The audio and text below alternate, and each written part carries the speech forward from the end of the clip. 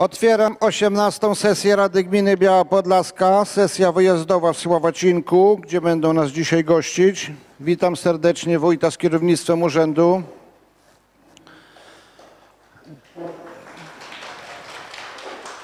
Witam koleżanki i kolegów radnych. Witam serdecznie media przybyłe na dzisiejszą sesję. Witam pana mecenasa i jego asystentkę. Przedstawię proponowany porządek posiedzenia. Otwarcie sesji, ustalenie porządku obrad, zatwierdzenie protokołu z poprzedniej sesji, informacja z działalności wójta w okresie między sesjami, sprawozdanie przewodniczącego Gminnego Zespołu Interdyscyplinarnego, punkt szósty, informacja o sposobie załatwiania interpelacji radnych, punkt siódmy, podjęcie uchwały w sprawie. Pierwsza, nabycie nieruchomości działki w miejscowości Grabanów. Druga, przystąpienie do sporządzenia zmiany studium uwarunkowań kierunków zagospodarowania przestrzennego gminy Biała Podlaska. Punkt trzeci, przystąpienie do sporządzenia zmiany miejscowego planu zagospodarowania przestrzennego gminy Biała Podlaska obejmujący fragment miejscowości Sycyna. Punkt czwarty, sporządzenie zmiany miejscowego planu zagospodarowania przestrzennego obejmującego miejscowość Sycyna dla nieruchomości położonej w miejscowości Sycyna. Punkt y, piąty, ustanowienie pomników przyrody. Punkt szósty, zmiany budżetu gminy Biała Podlaska na rok 2020. Punkt siódmy, zmiany wieloletniej prognozy finansowej. Interpelacja na zapytania, wolne wnioski, wolne wnioski, zamknięcie obrad. Punkt pierwszy mamy za sobą ustalenie porządku obrad. Czy do przedstawionego porządku obrad są jeszcze jakieś wnioski? Proszę bardzo, zastępco. Szanowni Państwo, Wysoka Rado, Panie Przewodniczący, yy, mam prośbę w imieniu Pana Wójta, aby do porządku obrad wprowadzić uchwałę w sprawie zaliczenia drogi do kategorii drogi gminnej oraz ustalenia jej przebiegu na terenie gminy Biała Podlaska. Rzecz yy, dotyczy miejscowości Husinka. Droga, o której mówię, ma na dzisiaj charakter drogi wewnętrznej. Zależy nam na tym, aby ta droga stała się drogą publiczną. Powiem, z czym, to jest związane. Otóż w tej chwili projektowana y, autostrada przecina tą drogę na pół. Jeżeli takiej kategorii nie nadamy drodze, to y, Generalna Dyrekcja nie będzie miała obowiązku y, budowy wiadukty, wiaduktu nad autostradą. A wiąże się to z tym, że grunty miejscowości Husinka będą przecięte na pół, a najbliższy dojazd to albo przez Kijowiec, albo przez Kaliłów. To tak w skrócie. Prośba o wprowadzenie tego. Dlaczego w tym trybie i tak późno? Te- No, odpowiadam na jeszcze niezadane pytania. Otóż trzy dni temu dostaliśmy pozytywną opinię Zarządu Powiatu, która jest wymagana do tego typu yy, uchwał. Yy, I, I stąd znajduje się to dzisiaj w porządku obrad. Taka prośba, aby to wprowadzić. W związku z powyższym, kto jest koleżanek, proszę bardzo.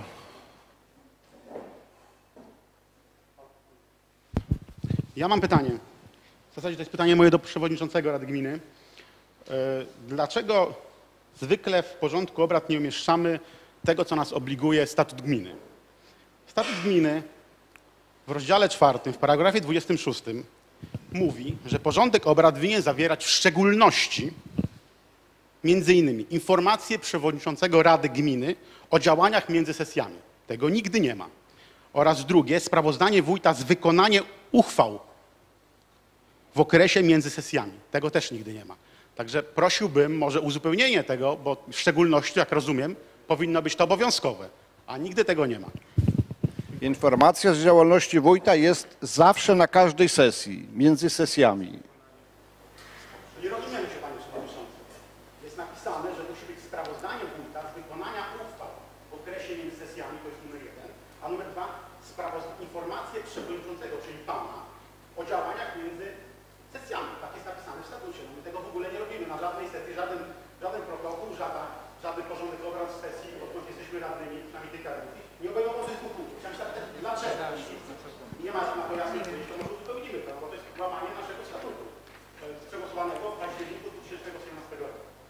To w wolnych wnioskach sobie to wyjaśnimy później w takim razie. Kto jest koleżanek i kolegów za przyjęciem punktu zgłoszonego przez zastępcę? Proszę o podniesienie ręki. Dziękuję. Kto jest przeciw? Kto się wstrzymał? Jednogłośnie. Kto jest koleżanek i kolegów za y, y, przyjęciem przedstawionego łącznie z tym punktem porządku obrad? Proszę o podniesienie ręki. Dziękuję. Kto jest przeciw? Kto się wstrzymał? Nie widzę. Porządek został przyjęty. Przechodzimy do punktu trzy, y, trzeciego. Zatwierdzenie protokołu z poprzedniej sesji to już nie podlega. Informacja o działalności wójta gminy w okresie między sesjami. Punkt czwarty. Proszę bardzo.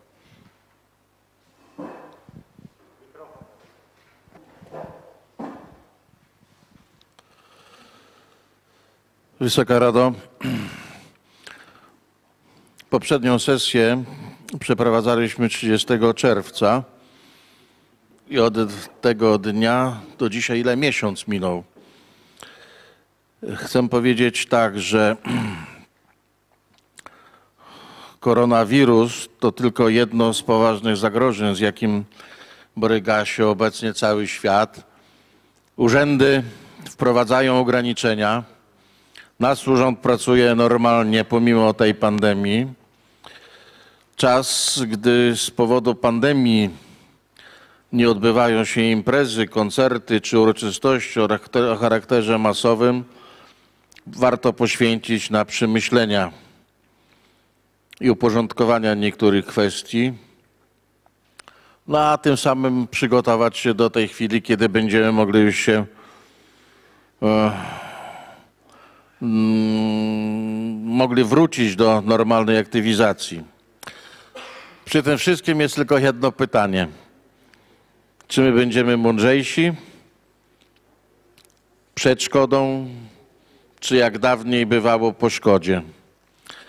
Stąd też sesja wyjazdowa odbywa się w warunkach zapewniających taką możliwość, żeby komfortowo przeprowadzić tą sesję, bo jak słyszymy z mediów 615 zakażeń, podniesione kary za maseczki, to nic nie skutkuje. Cały czas jesteśmy podobno mądrzejsi. Tylko pytam, czy przed szkodą, czy po szkodzie. A jeżeli już rozpocząłem swoje sprawozdanie od, od tej pandemii, to powiem, nie będę mówił w jakich miejscowościach, powiem tylko, że w naszej gminie sprawa wygląda tak. 20 osób jest na kwarantannie. To wszyscy ci, co mieli kontakt z osobą pozytywną. Oraz cztery osoby są w izolatorium domowym. Mówiąc obrazowo, mają pozytywne wyniki, czyli pozytywne przypadki. Razem jest 24 w całej gminie. Ja mam tu szczegółową listę, ale ze względów oczywistych nie mogę tego publicznie powiedzieć.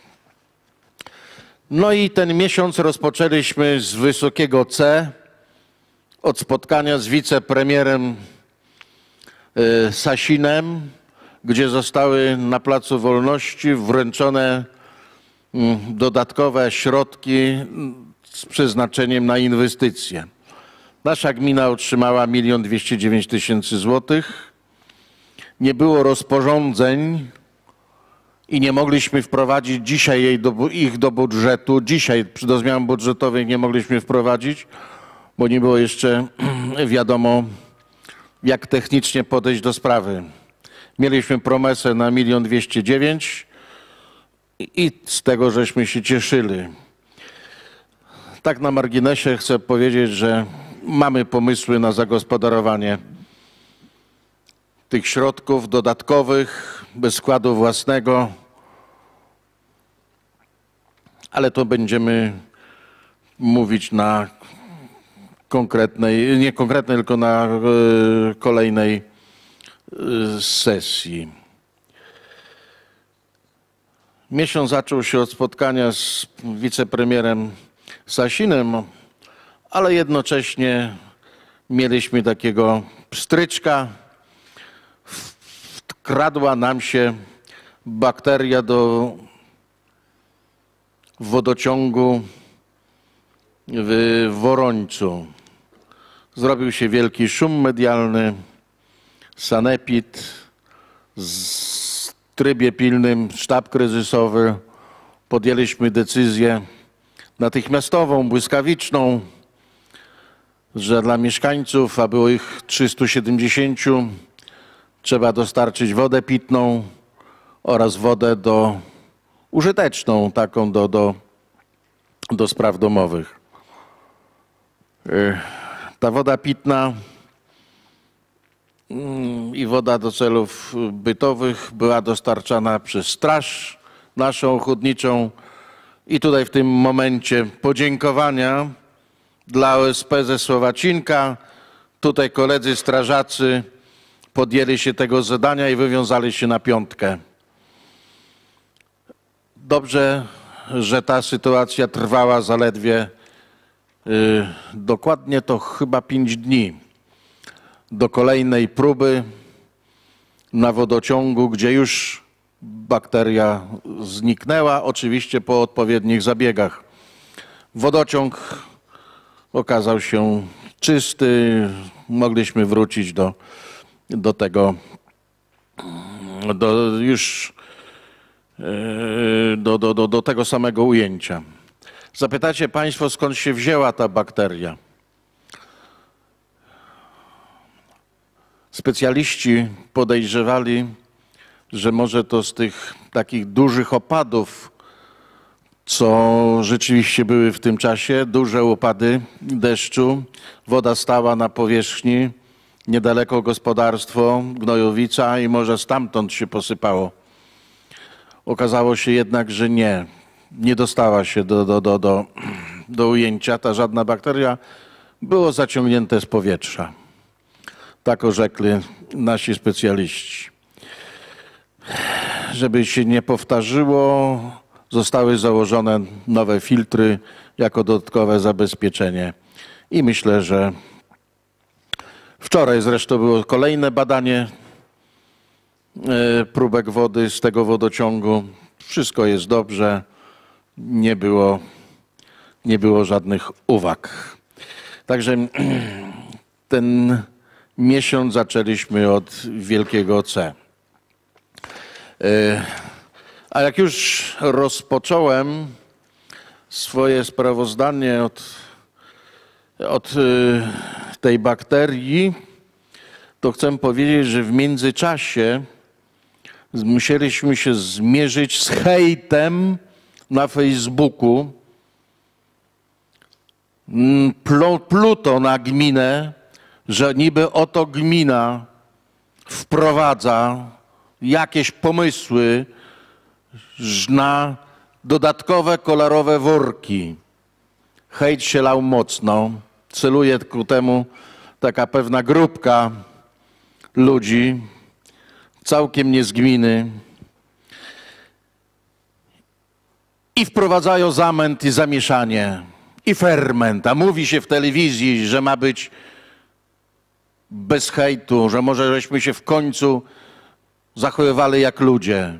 Nie, schować się za ekran i tam hejtować. Skąd się wzięła ta sprawa worków kolorowych na odpady? Otóż, drodzy Państwo, przeprowadzona została kontrola Państwowej Inspekcji Ochrony Środowiska z Lublina w temacie zagospodarowania odpadów w gminie. Kontrola wypadła bardzo dobrze.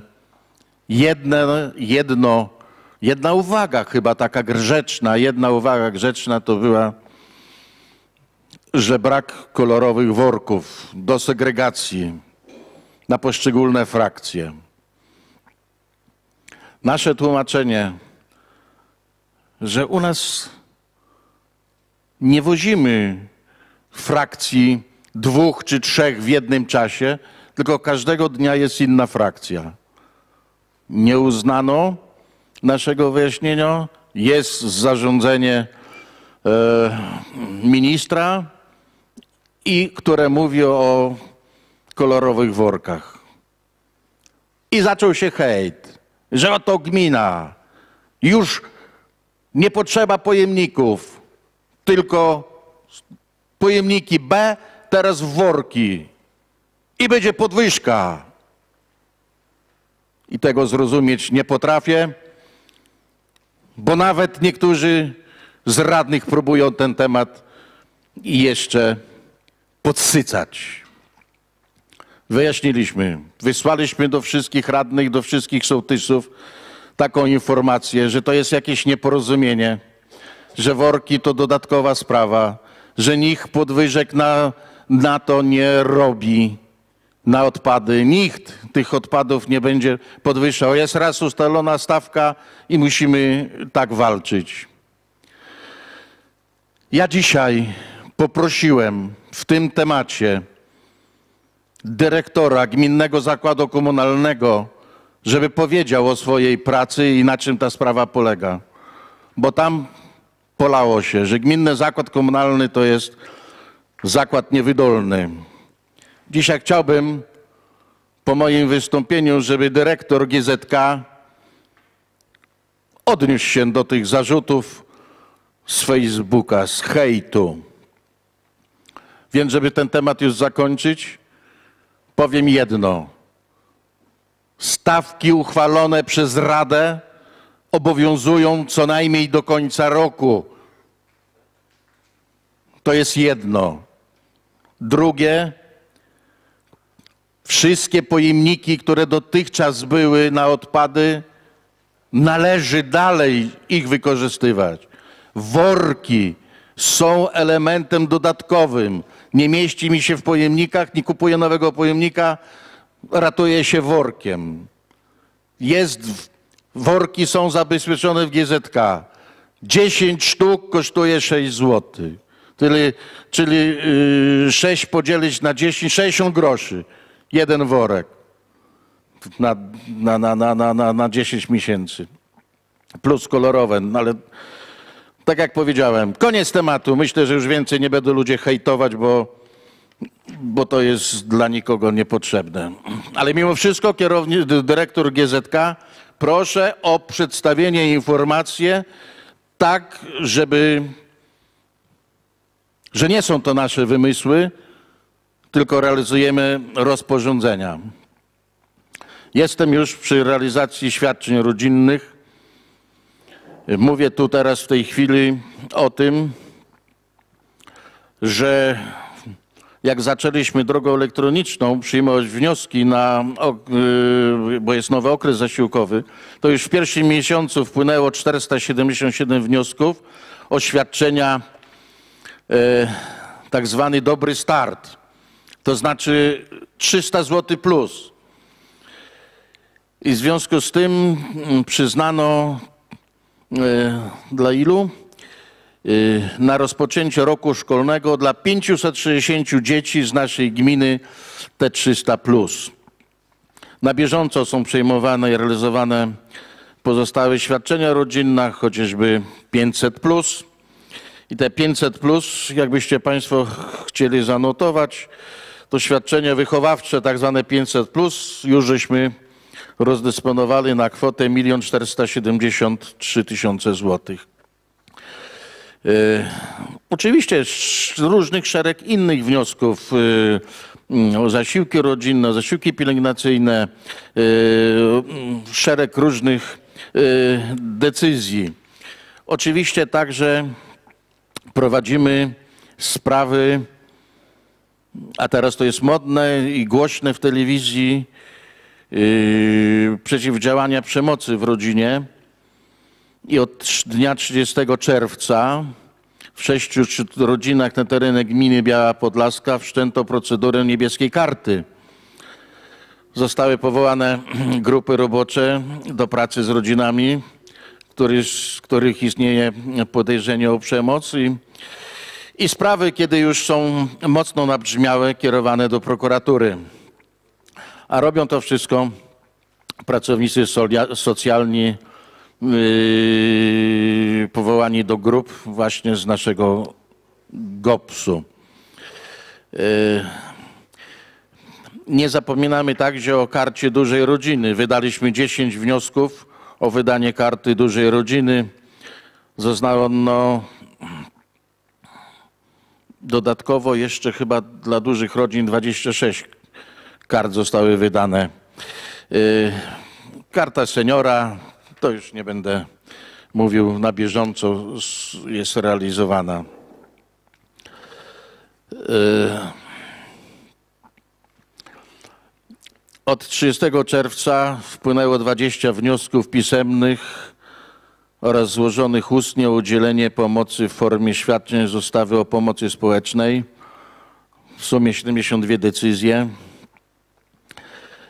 No i tak, y, pomimo że są ograniczone y, kontakty, to ludzie nie zważają na nic, przychodzą nie tylko samodzielnie, ale i może z żoną albo grupami przychodzą załatwić jakikolwiek problem y, w gminie.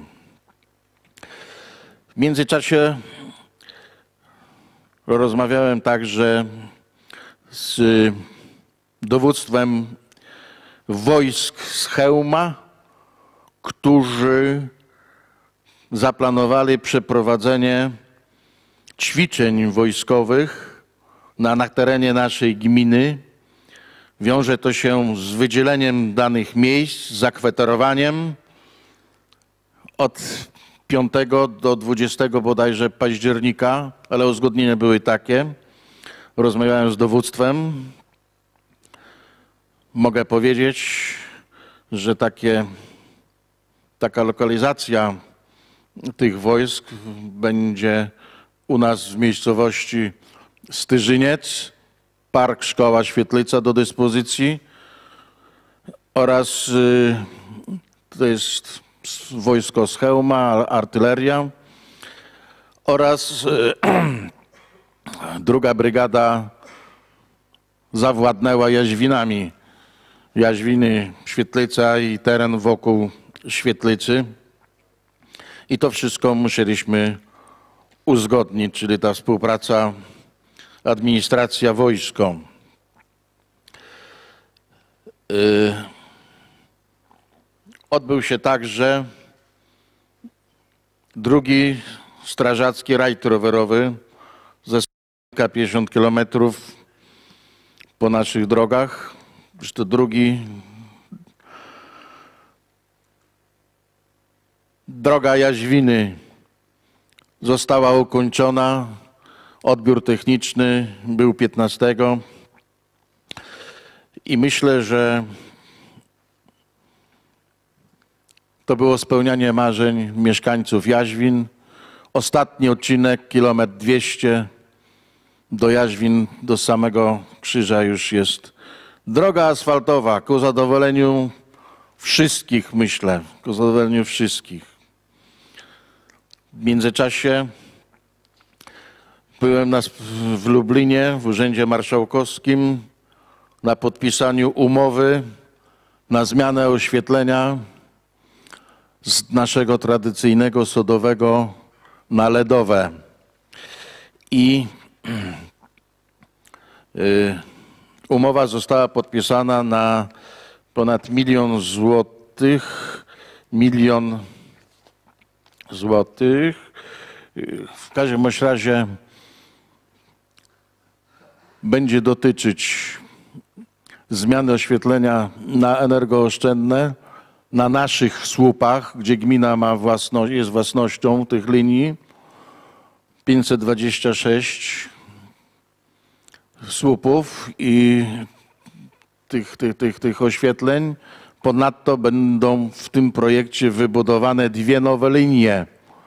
Jedna w Styżyńcu, 12 słupów nowych postawionych na LEDach i na trasie Michałówka do Janówki. Na trasie tam nie było oświetlenia, 15 słupów na LEDy. Y, Myślę, że też to poprawi bezpieczeństwo, bezpieczeństwo dla użytkowników tych dróg. E, Teraz przechodzimy jeszcze do kolejnych rozstrzygnięć.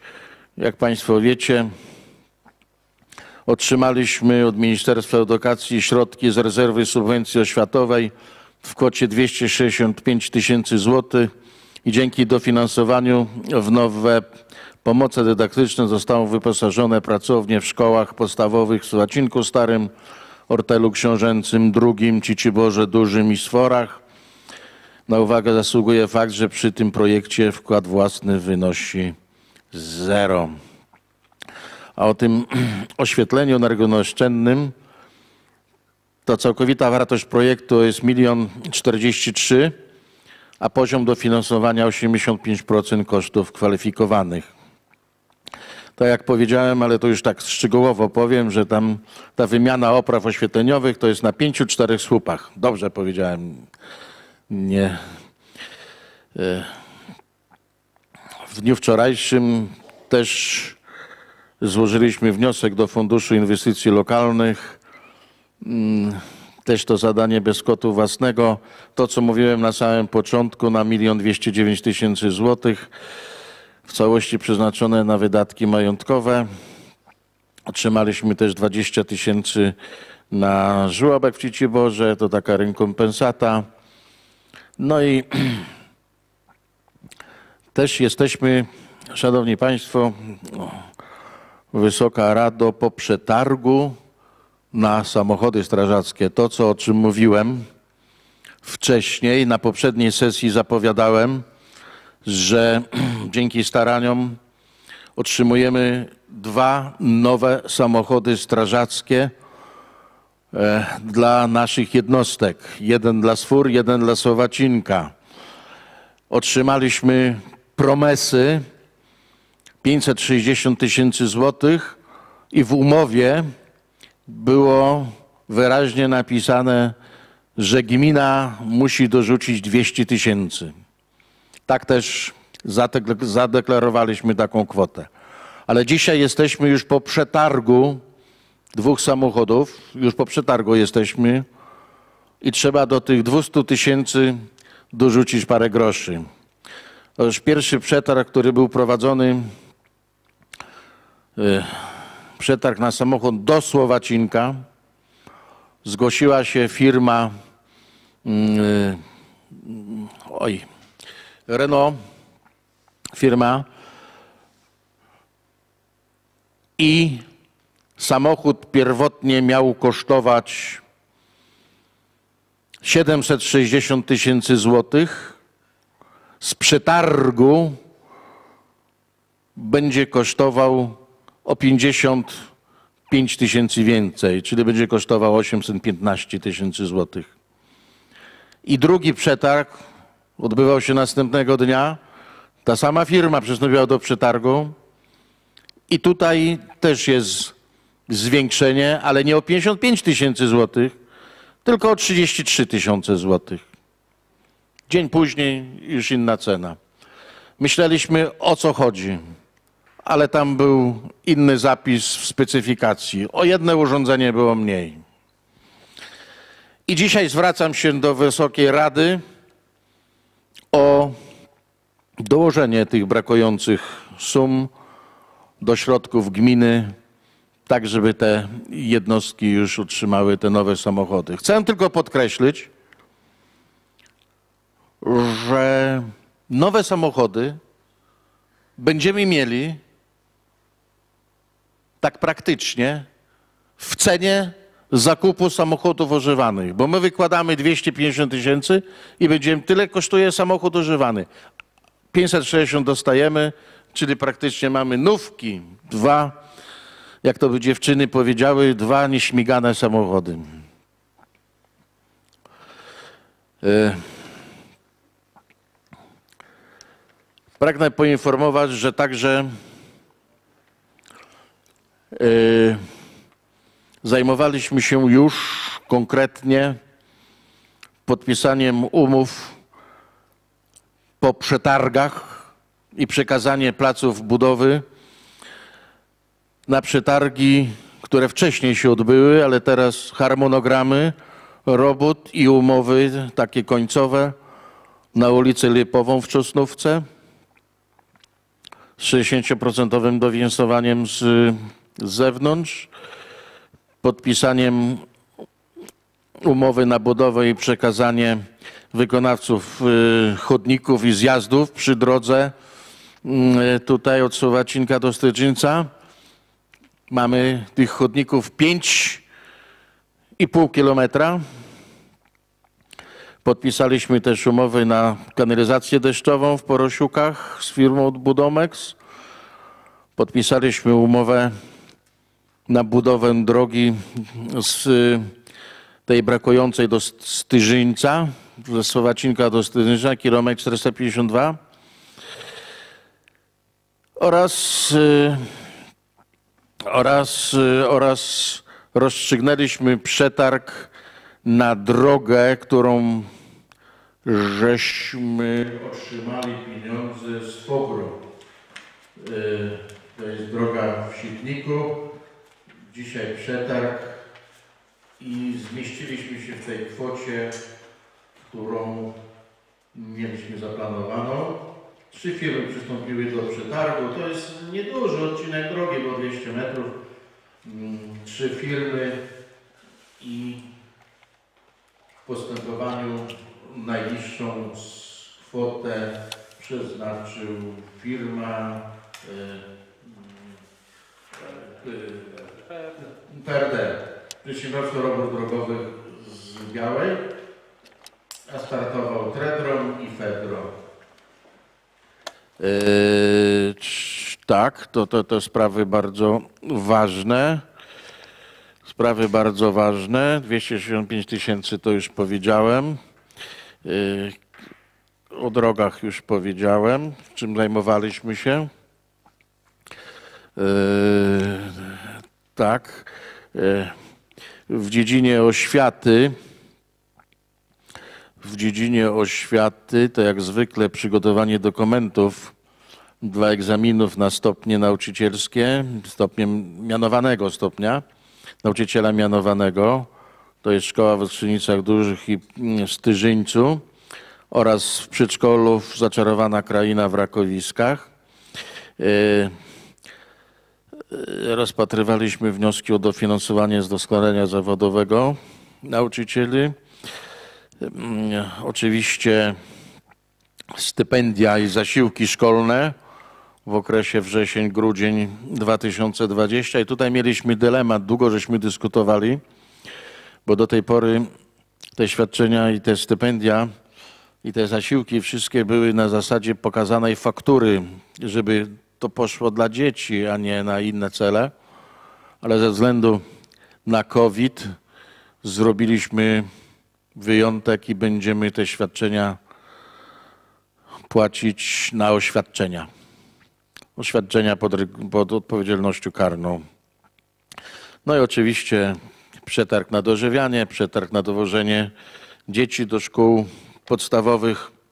Jeszcze nie wiadomo, czy dzieci wrócą do szkół, bo jeszcze nikt nic nie wie, czy dzieci wrócą do szkół, czy nie, ale gminy muszą być przygotowane i, i gminy się przygotowują. Tak samo jak dzisiaj e, już e, wiemy, że zostały podane wyniki egzaminów ósmoklasisty. E, Mieliśmy poznać wszystkie egzaminy o godzinie 10.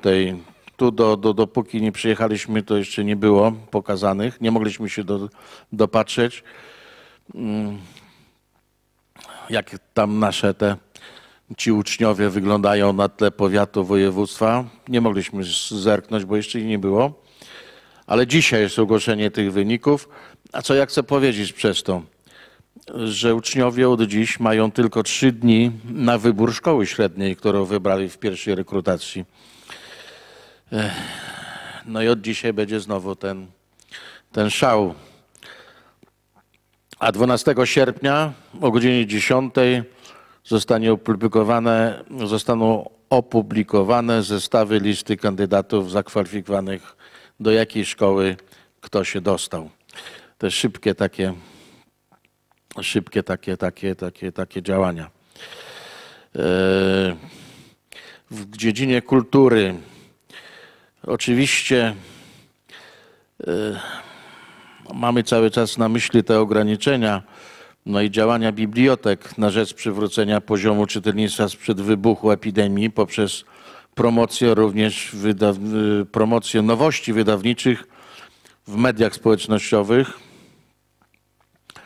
Y, Działalność promocyjna pracowni zdobnictwa ludowego z Worońca, pracowni kulinariów z Perkowic realizowała poprzez nakręcenie filmów instruktorzowych, no i zamieszczonych na stronie Gokowskiej, no i także w mediach y, społecznościowych.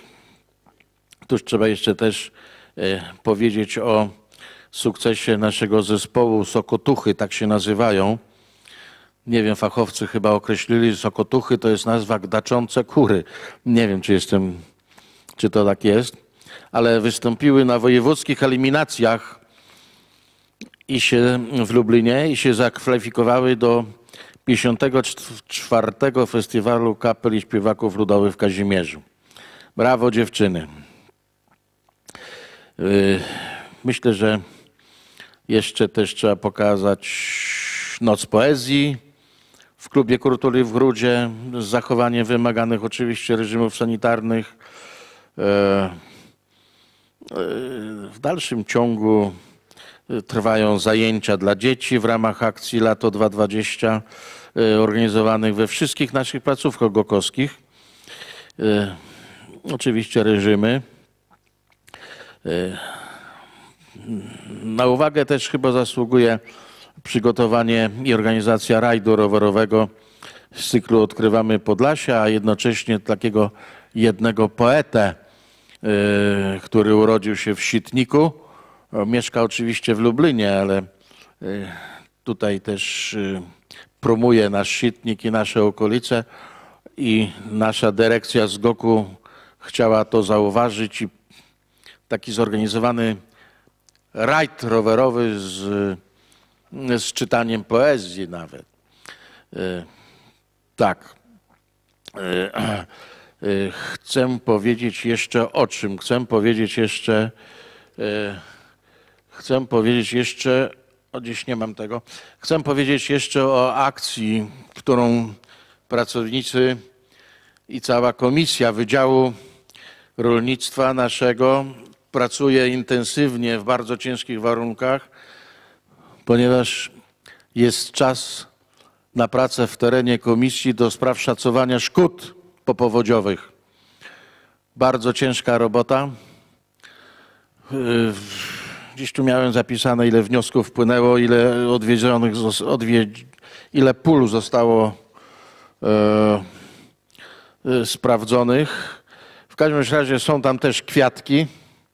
Są kwiatki takie, że we wniosku jest napisany na przykład 80% straty w uprawie owsa. Komisja zajeżdża, a tam ten owiec nawet nie był posiany. Albo zajeżdżają na straty w, w łąkach, nie ma siana, a siano już jest w belach na podwórku. No ale to jest coś, ciężka praca komisji. Y, Pan przewodniczący mówi, że ja za długo już tutaj mm, przekazuję te informacje. Chcę powiedzieć, że przede wszystkim w pracy na co dzień zajmujemy się wykonaniem uchwał Rady Gminy, które zostają przekazane do dyspozycji wójtowi i wójt nic innego nie robi, jak nadaje bieg sprawie. W międzyczasie powiem jeszcze, że odbyła się komisja finansów i budżetu, budżetu gminy. Temat był bardzo gorący, zmiany budżetowe. Komisja jednogłośnie zaakceptowała po analizie, głębokiej dyskusji. Nie ubyło się bez kontrowersji propozycji, jakie zostały zaproponowane w zmianach budżetowych, ale to o tym w konkretnym punkcie. Dziękuję panie przewodniczący.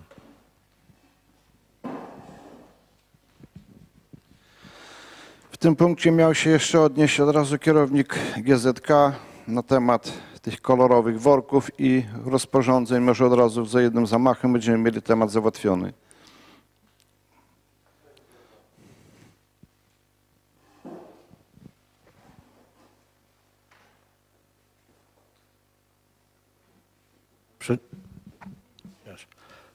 Panie Przewodniczący, Szanowni Państwo, ja może bym prosił o rozdanie radnym e, takiego zestawienia opłat na wysypiska, żebyśmy wiedzieli o czym mówimy, bo tam parę słów chcę powiedzieć. Mam przed sobą e, ulotkę, którą gmina dostarczyła wszystkim mieszkańcom naszej gminy w miesiącu grudniu z prawidłową segregacją odpadów.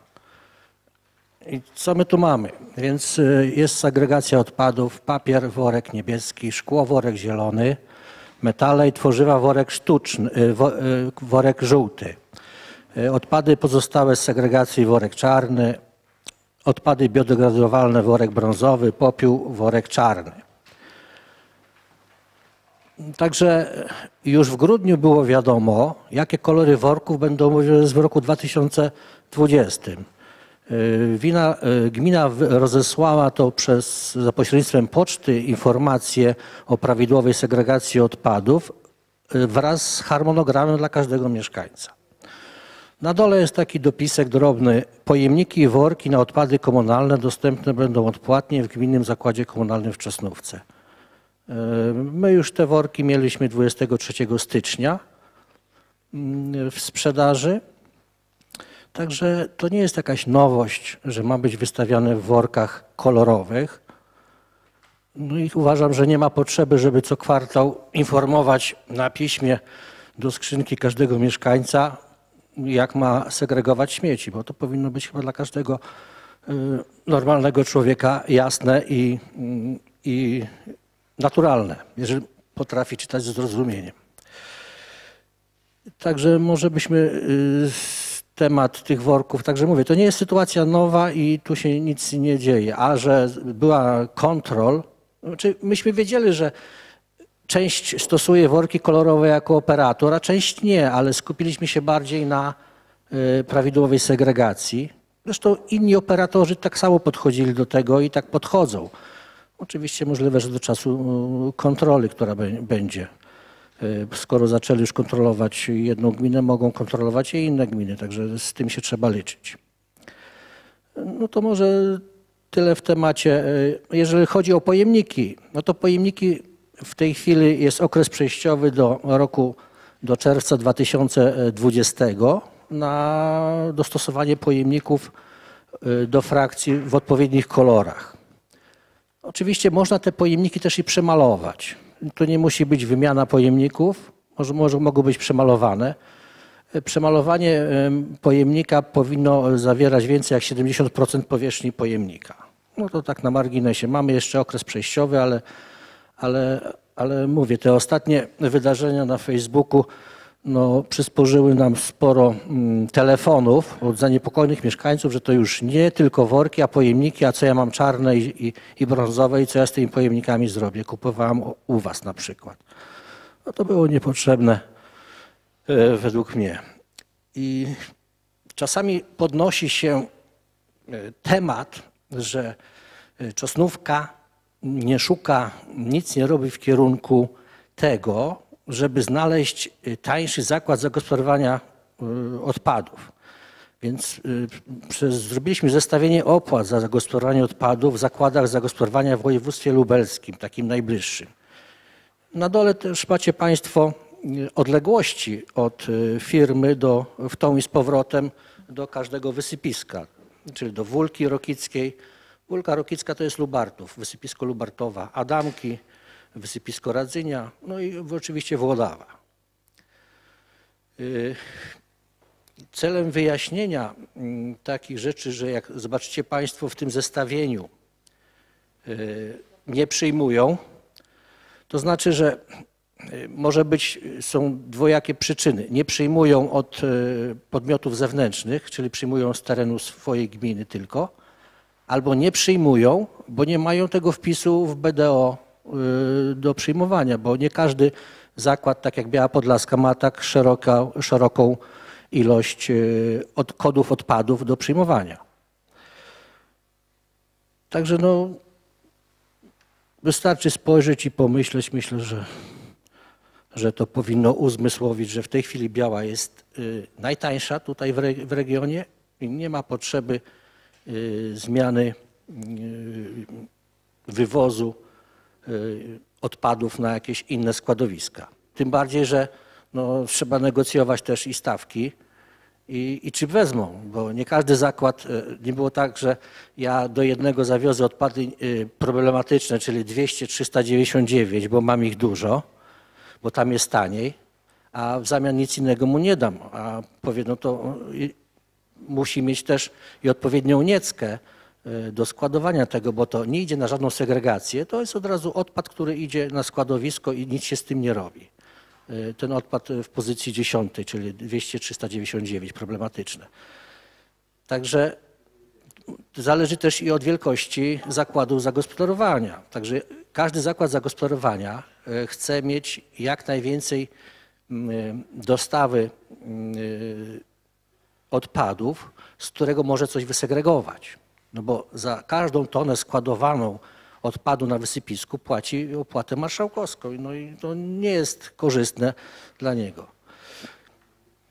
Także myślę, że te ceny, które Państwo macie przed sobą, można sobie to spokojnie przeanalizować i uważam, że tutaj y, biała jest w tej chwili w regionie najtańsza. Poza regionem jeszcze się nie wybieraliśmy, ale możemy zrobić też taką, takie zestawienie, ale dochodzą do, do tego odległości kilometrowe. No to są kilometry podane, tak jak powiedziałem, z bazy w Czosnówce do wysypiska i z powrotem. Kilometry te nie obejmują oczywiście terenów, które na, należy dojechać i objechać w celu zebrania odpadów. Y, To jeżeli chodzi o odpady, mm, no odpady, o wielkości odpadów, to może za, zamknęło się półrocze, już roku mamy zamknięte 2020, więc chciałbym się odnieść o przyrostach tych odpadów, tak?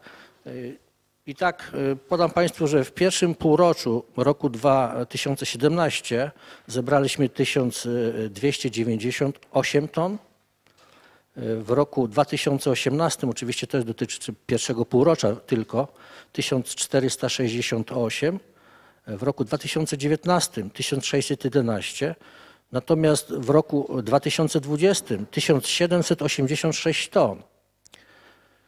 No to skala, skala y, jest, notujemy cały czas przyrost na poziomie 10-12% rok do roku w półroczu, a tak samo jest i na koniec roku, a nawet i więcej.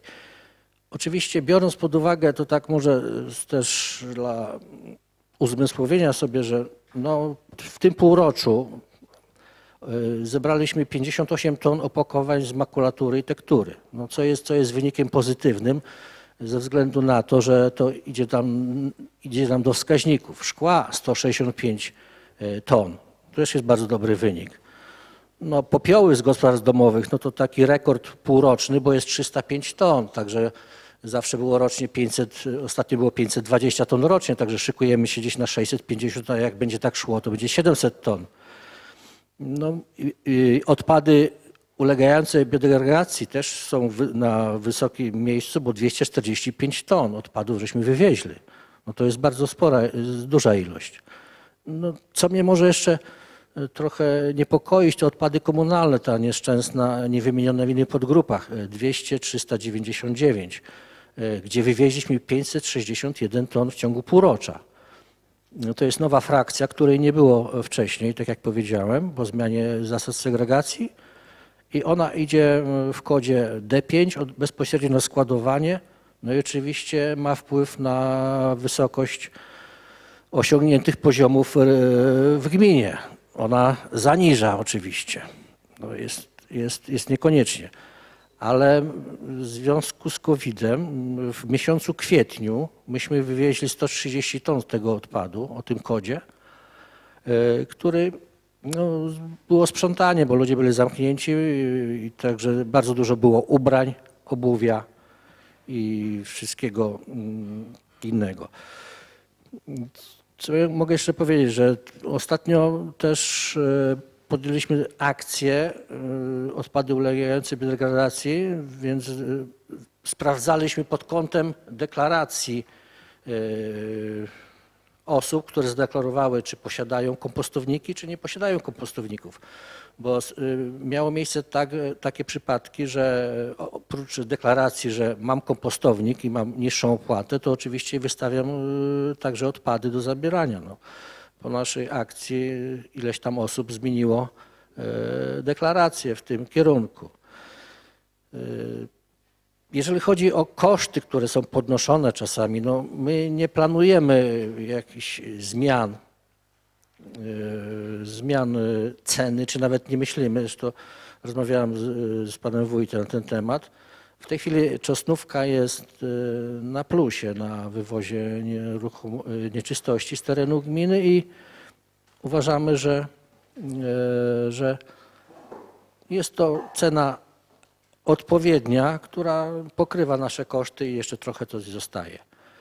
Jeżeli chodzi natomiast na, o worki, no worki nigdy nie były e, przez nas e, kalkulowane e, do rozdawania.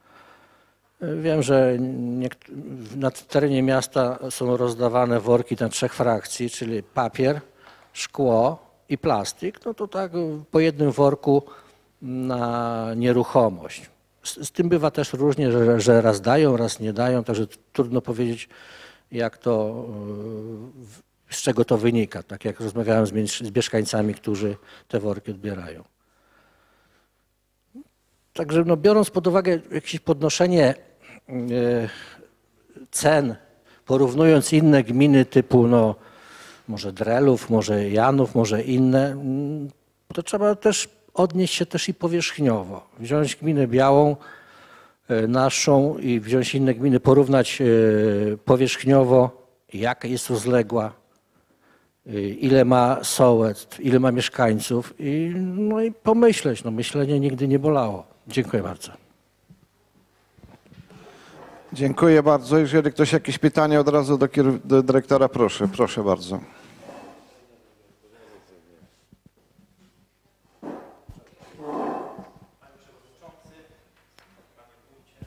Panie wójcie, koleżanki, koledzy radni, ja y, tutaj y, w kwestii może tych właściwie podpowiedzi dla pana wójta, bo myślę, że cały problem wynikł z tego, tu nie chodzi o same y, akurat śmieci, ale w ogóle na przyszłość, jeżeli jakiś komunikat powstaje, żeby on był przygotowywany do, bardziej precyzyjnie, bo nie ukrywam, że i mi się dostało w tej kwestii, co wy radni tam w tej gminie wyprawiacie i tak dalej, i tak dalej.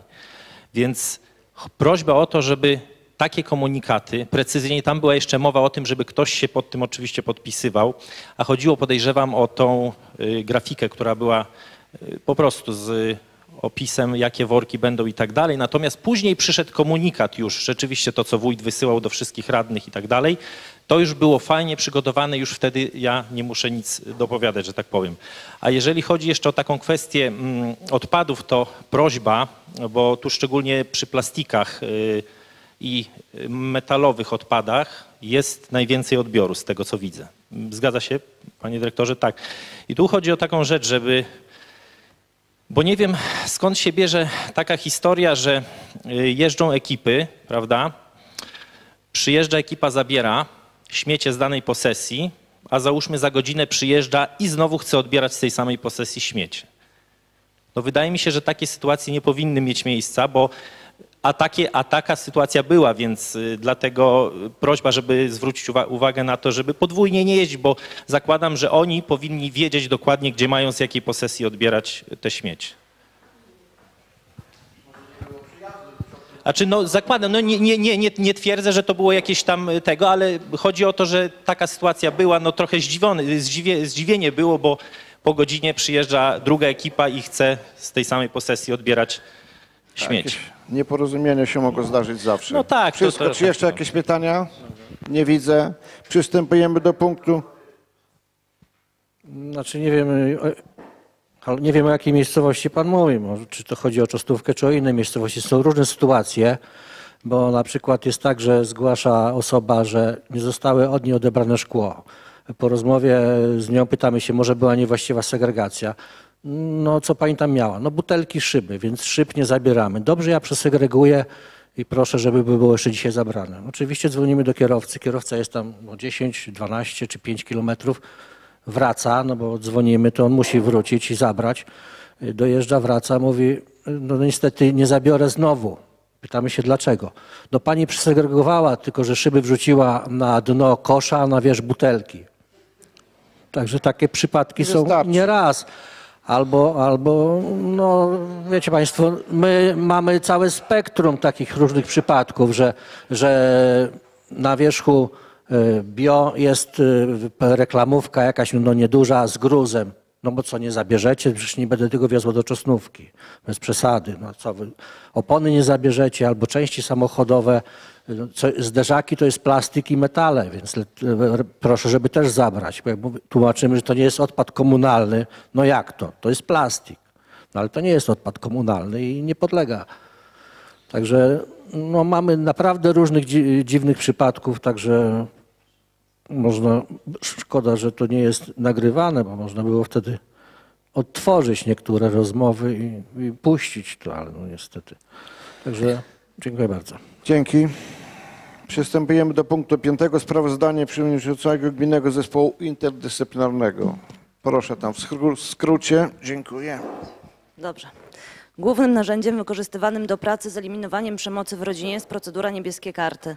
Jest to procedura mająca na celu rozpoznanie zaburzeń życia rodzinnego wywołanych stosowaniem przemocy, ułożenie planu pomocy oraz podjęcie działań interwencyjnych.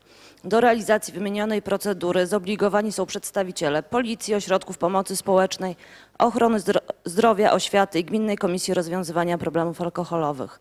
Procedura niebieskie karty została opracowana tak, by łączyć kompetencje służb oraz dążyć do współpracy w celu osiągnięcia lepszych efektów. Wszczęcie procedury następuje poprzez wypełnienie formularza A przez przedstawiciela wyżej wymienionych podmiotów i niezwłoczne przekazanie do przewodniczącego zespołu interdyscyplinarnego. Zakończenie procedury następuje w formie protokołu podpisanego przez przewodniczącego po wcześniejszym złożeniu informacji członków grupy roboczej o zakończeniu działań. W okresie od 1 stycznia do 30 czerwca 2020 roku do Gminnego Zespołu Interdyscyplinarnego wpłynęło 36 formularzy, 33 karty zostały założone przez, przez przedstawicieli policji, dwie karty założone przez pracowników GOPS, jeden formularz wpłynął od przedstawicieli oświaty. Na dzień 30 czerwca Gminny Zespół Interdyscyplinarny prowadził 38 procedur e, niebieskie karty. W okresie sprawozdawczym procedura została zakończona w 27 rodzinach. W ciągu pół roku przewodniczący Gminnego Zespołu Interdyscyplinarnego wystąpił do wy- Wydziału Rodzinnego i Nieletnich Sądu Rejonowego w Białej Podlaskiej z 13 wnioskami o wgląd w sytuację małoletnich dzieci oraz z 11 zawiadomieniami do prokuratury rejonowej w Białej Podlaskiej o możliwości popełnienia przestępstwa z artykułu 207 kodeksu karnego. E, Członkowie Gminnego Zespołu Interdyscyplinarnego są w trakcie opracowywania Gminnego Programu Przeciwdziałania Przemocy w Rodzinie oraz Ochrony Ofiar Przemocy w Rodzinie na lata 2021-2026. Aktualny program obowiązuje do końca 2020 roku. Z działań zespołu interdyscyplinarnego i grup roboczych wynika, że interdyscyplinarność ma wiele zalet. Szybki przepływ informacji pomiędzy służbami społecznymi, możliwość podjęcia działań zaplanowanych i skoordynowanych, niepowielających się i niewykluczających się wzajemnie. W trakcie spotkań można było zapoznać się z procedurami stosowanymi przez poszczególne instytucje. Inter, interdyscyplinarne podejście Zwiększa skuteczność, kompetencje z powodu wykorzystania możliwości, jakie gmina posiada, a zaplanowana wspólna profesjonalna pomoc przynosi lepsze rezultaty. Osoby doznające przemocy potrzebują zwykle pomocy psychologicznej, prawnej, materialnej, medycznej, a także wsparcia emocjonalnego. Dlatego przeciwdziałanie przemocy w rodzinie nie może opierać się wyłącznie na działalności jednej instytucji, gdyż żadna z nich nie ma wystarczających narzędzi, kompetencji i możliwości rozwiązania problemów rodziny uwikłanej w przemoc. Dziękuję.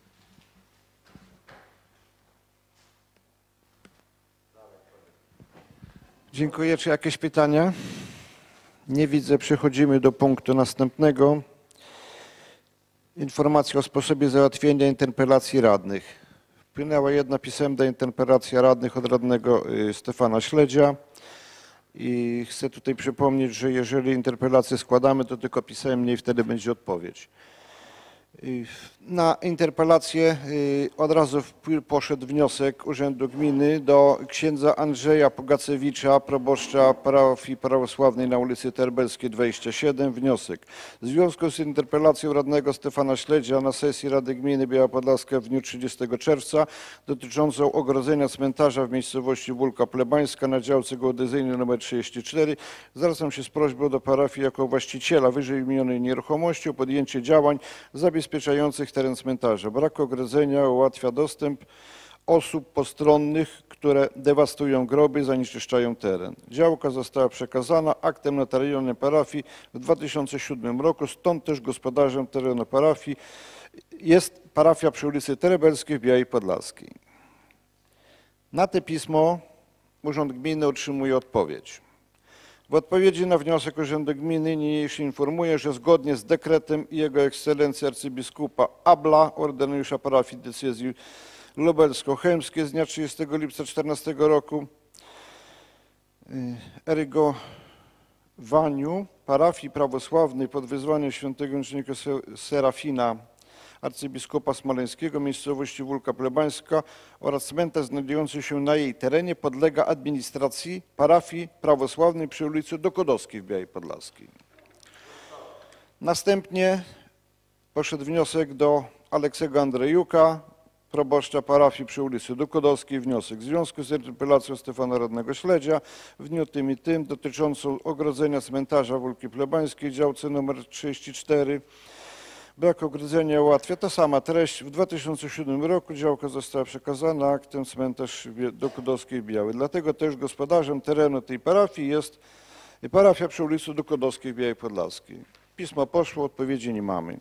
To jest odpowiedź na interpelację. Przechodzimy do uchwał. Uchwała numer 1 to będzie uchwała y, 18 przez 135 Rady Gminy Biała Podlaska z dnia 22 lipca y, 20 roku. Tutaj pomyłka 31.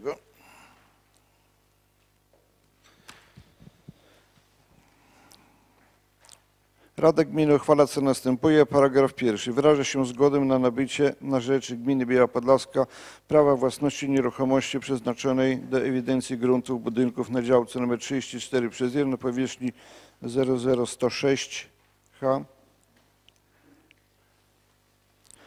w miejscowości, położonej w miejscowości Grabanów, dla której są terenowe ustawy Księgę Wieczystą. Tutaj i może ktoś coś dopowie o tej działce, to już poproszę pana Arkadiusza Drąga.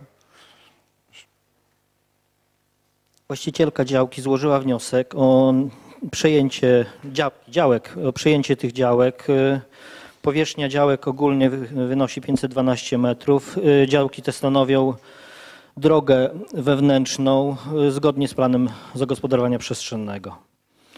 I te dział, po prostu przejęcie tych działek umożliwi dalszy rozwój tego osiedla. Działka jest bez, drog, bez, y, bezpłatnie. Ja powiedziałem, że bezpłatne. Działka będzie przejęta, działki będą przejęte bezpłatnie. Proszę bardzo.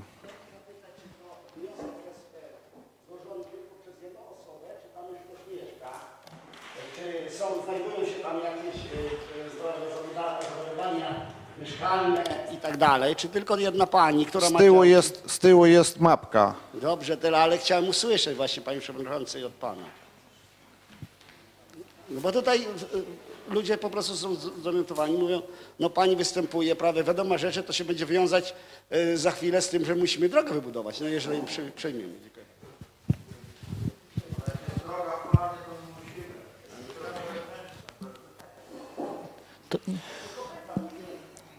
Paragraf drugi. Uchwała wchodzi w życie z dniem podjęcia. Kto jest koleżanek i kolegów radnych za przyjęciem tej uchwały, proszę o naciśnięcie przycisku. W którą to stronę kierujesz, Agnieszka? Poszło.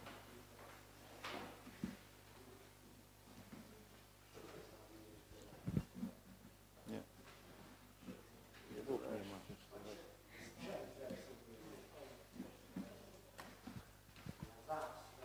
Popsuł.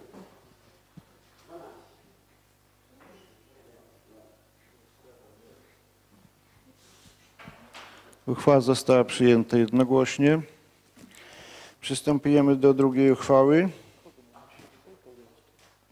Przystąpienie do sporządzenia zmiany studium uwarunkowań kierunku zagospodarowania przestrzennego. Pani Inga, poproszę.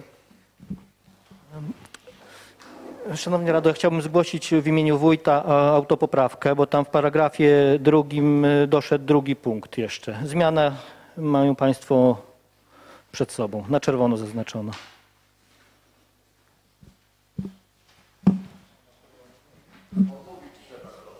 Proszę omówić. Zakres zmiany studium e, dotyczy trzech e, aspektów. Pierwszym z nich jest zmiana przeznaczeniu terenu, który oznaczony jest w obowiązującym studium jako istniejąca droga gminna. E, Jest to działka o numerze ewidencyjnym 168 w obrębie Sycyna, e, która stanowi e, drogę publiczną gminną e, zgodnie z uchwałą Rady Gminy z 2013 roku, przy czym droga ta nie posiada nadanego e, numeru.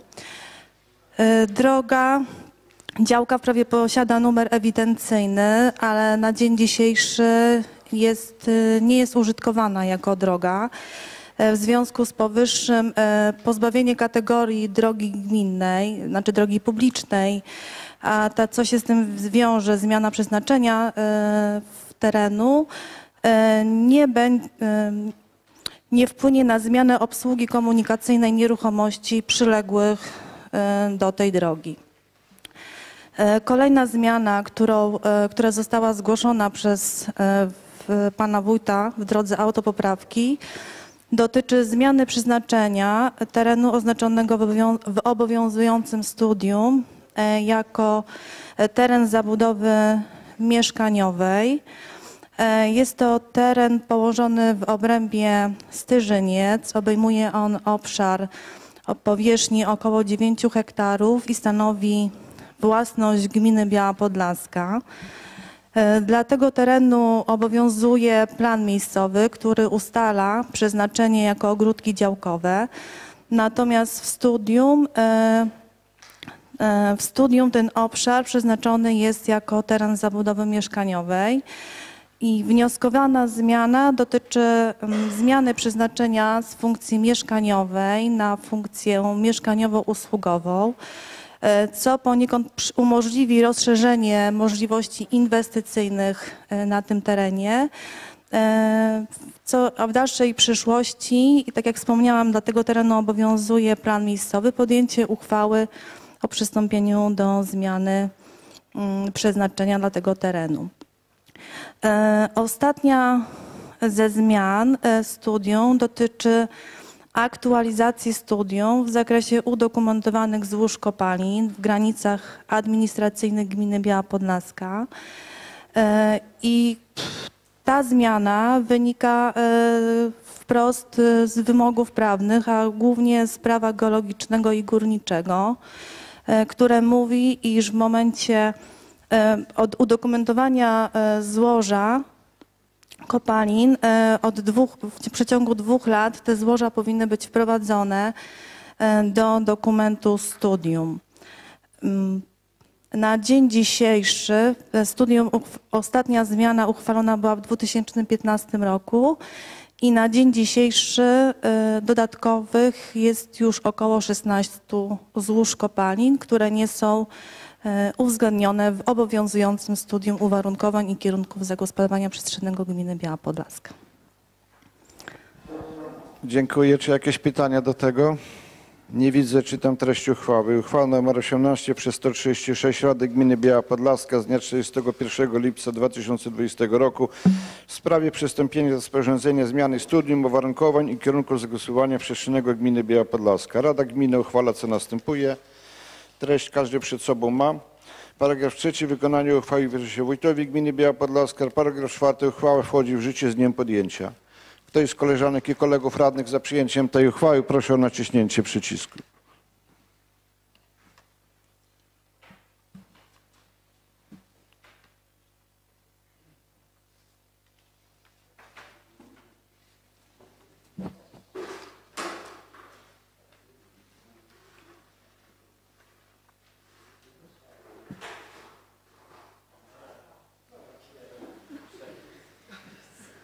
Stefan popsuł.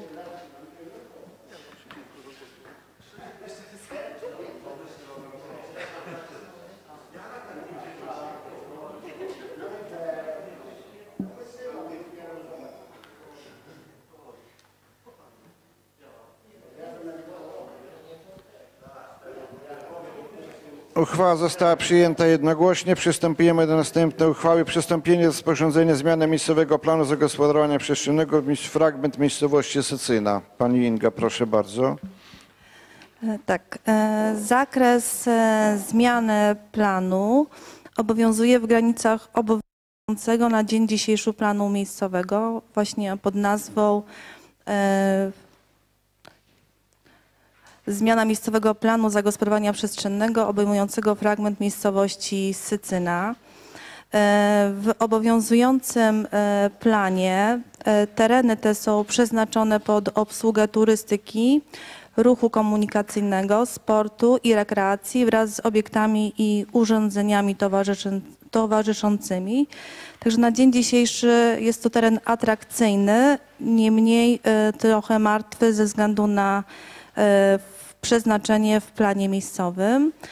E, Celem zmiany planu miejscowego jest zmiana e, przeznaczenia nieruchomości, które dotychczas przeznaczone są w obowiązującym planie pod obsługę turystyki na tereny e, przemysłowo-usługowe, jak również zmiana w układzie komunikacyjnym tego terenu, a także dostos- dostosowanie zapisów do obowiązującego studium, który wyznacza dla tego obszaru funkcję e, usługowo-przemysłową i skła- składową. E, Nowe przeznaczenie dla tej nieruchomości uzasadnione jest zgłoszonymi potrzebami inwestycyjnymi właścicieli nieruchomości. Dziękuję. Czy jakieś pytania? Nie widzę. Czytam treść uchwały. Uchwała nr 18 przez 137 Rady Gminy Biała Podlaska z dnia 31 lipca 2020 roku w sprawie przystąpienia do sporządzenia zmiany miejscowego planu zagospodarowania przestrzennego Gminy Biała Podlaska obejmującej fragment miejscowości Sycyna. Rada Gminy uchwala co następuje. Treść każdy przed sobą ma. Wykonanie uchwały powierza się wójtowi gminy. Uchwała wchodzi w życie z dniem podjęcia. Kto jest koleżanek i kolegów radnych za przyjęciem tej uchwały, proszę o naciśnięcie przycisku. O, Stefan, dobrze.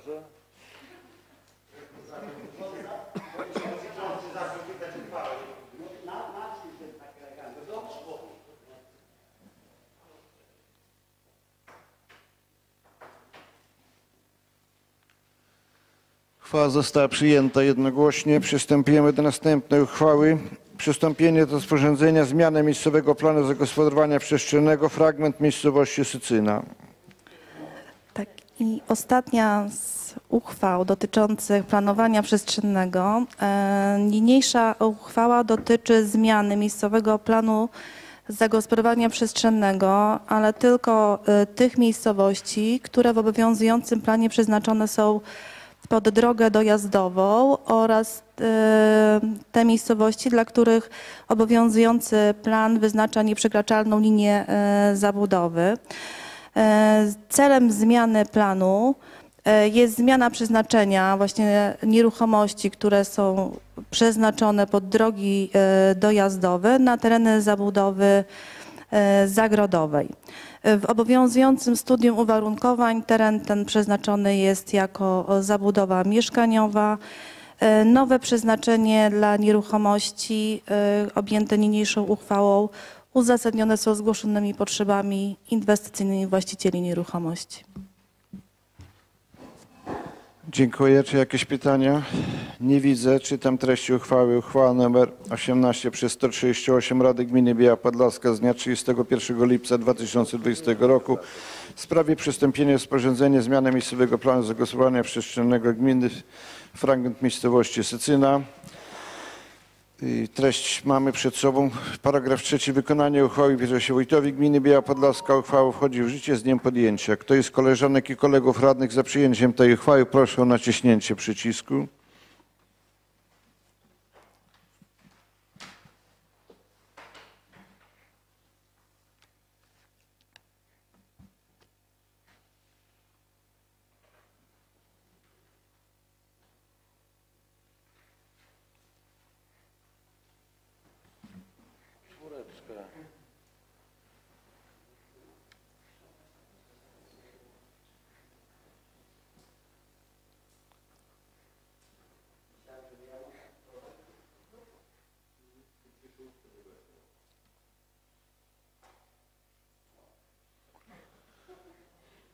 Uchwała przyjęta jednogłośnie. Przystępujemy do następnej uchwały. Ustanowienie pomników przyrody.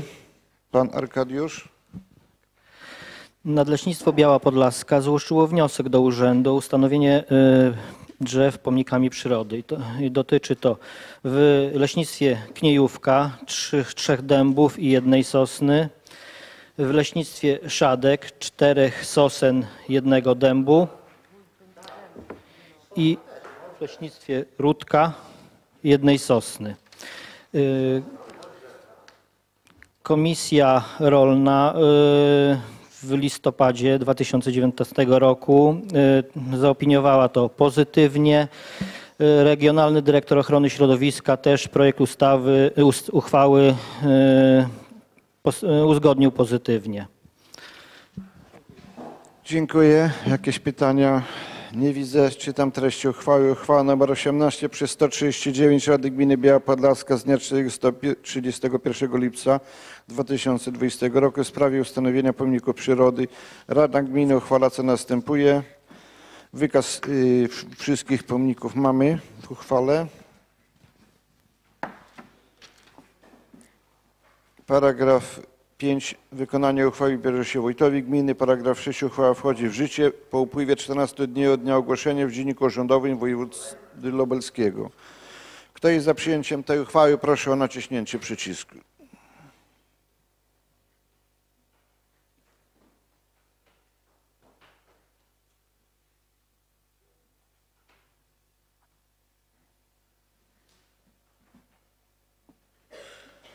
Uchwała została przyjęta jednogłośnie. Przystępujemy do następnej uchwały. Zmiany budżetu gminy Biała Podlaska na rok 2020.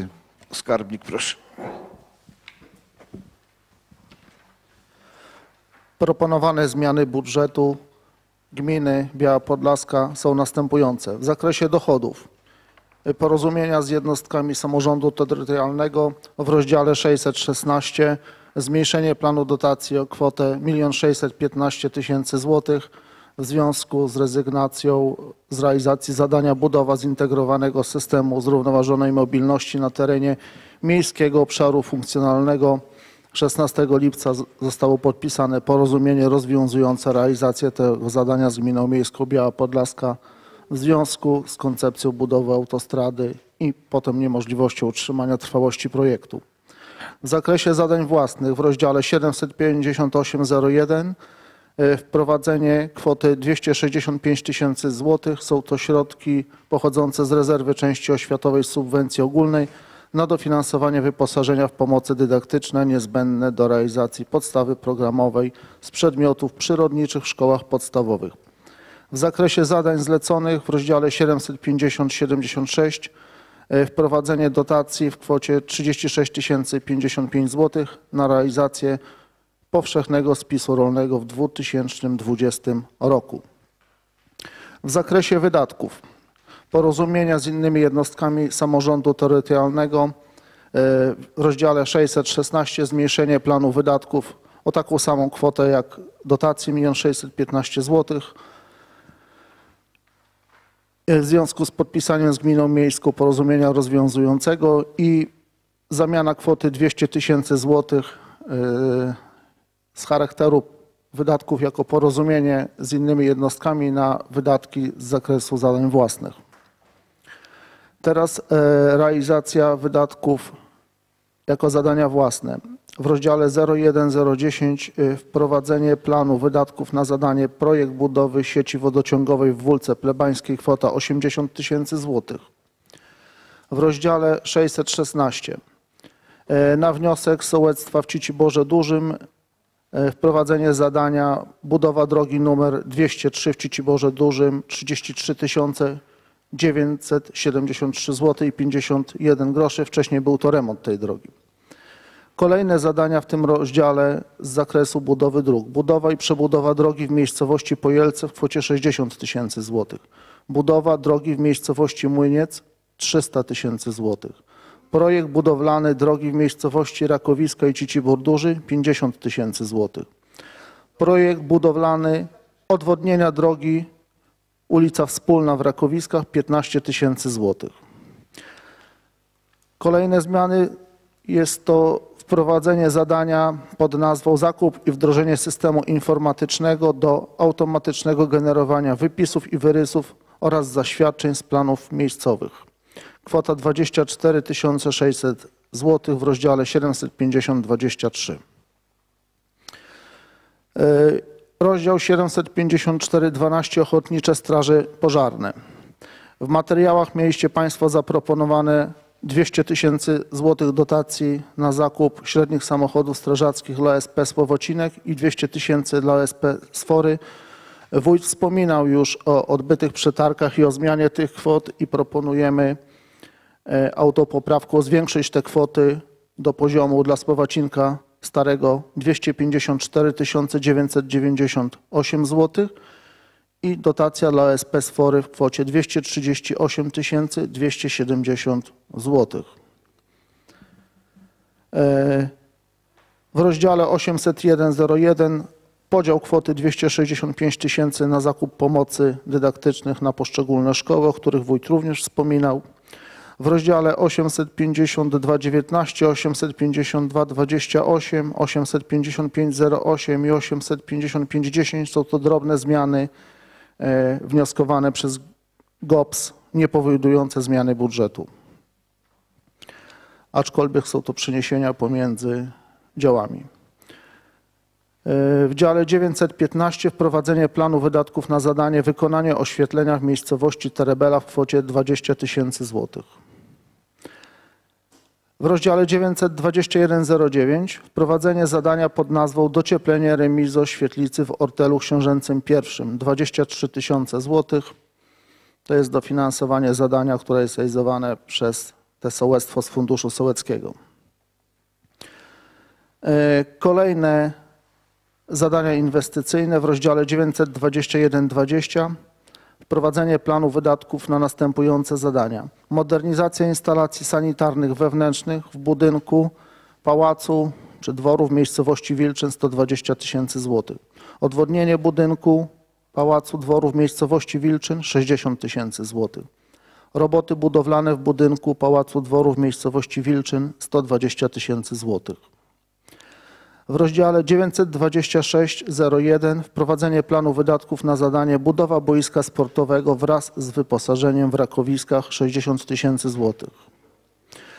E, Pozostałe zmiany w rozdziałach 616, 921, 926 z Orieny są to zmiany Funduszu Sołeckiego, Sołectw Cicibor Duży i Woskrzenice Małe na wniosek tych sołectw. I w zakresie zadań zleconych wydatki to jest prowadzenie planu wydatków na realizację powszechnego spisu rolnego, o których mówiłem już przy okazji dochodów. W związku z tymi zmianami e, nastąpi zmiana planowanego deficytu, który po tych zmianach wyniesie 4 miliony 346 tysięcy 367 zł.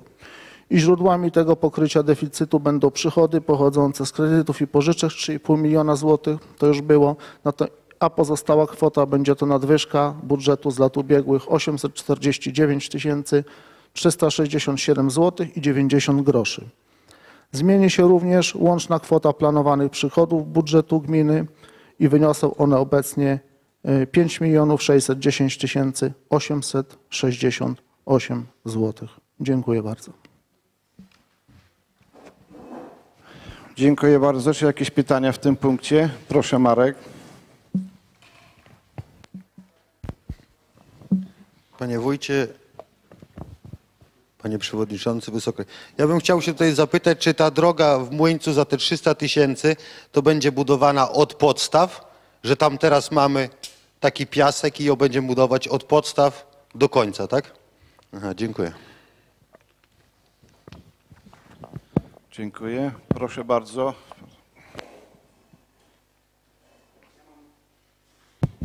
Ja mam dwa pytania. Znaczy, Pierwsze pytanie jest do e, pana skarbnika. bo tam nie wiem, czy to jest y, nieścisłość, czy coś źle zapisane, bo tu mamy w dokumentach napisane, że jest milion siedemset tysięcy odjęto od tego budowy zintegrowanego systemu, a pan mówił przed chwilą milion sześćset piętnaście, więc nie wiem, czy ja źle usłyszałem, czy kwota jest właściwa, to coś zapisane w budżecie, czy milion sześćset piętnaście, tak jak pan wspomniał.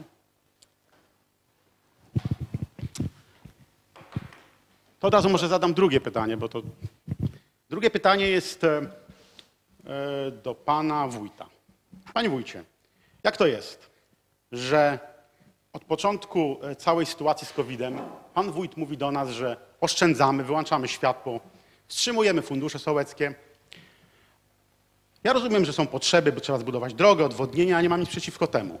Ale przeznacza pan wójt 60 tysięcy na boisko w Rakowiskach dodatkowo, mimo tego, że pan przewodniczący Plażuk w lutym 20 tego roku, bieżącego roku, w wywiadzie w Białej 24 powiedział, że wystarczy mu środków e, z funduszu sołeckiego i z pomocy mieszkańców Rakowisk.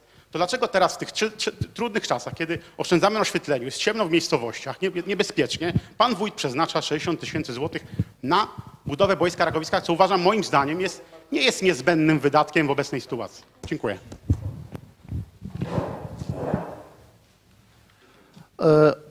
Odpowiem e, na pytanie, które pan radny zadał. Tak, e, 1 615 zmniejszenie planu wydatków to jest ta część unijna, jeszcze 85 tysięcy przeniesienie na pozostałe wydatki, tak, bo to przedsięwzięcie no, nie będzie realizowane, pozostanie tylko kwota 200 tysięcy. To taka mała nieścisłość, ale ma- ma pan rację. Odpowiadam na pytanie y, pana Marka. Y, Droga w Młyńcu jest to droga, która jest y, zaprojektowana w latach ubiegłych. Ubiegaliśmy się y, na tą drogę o środki.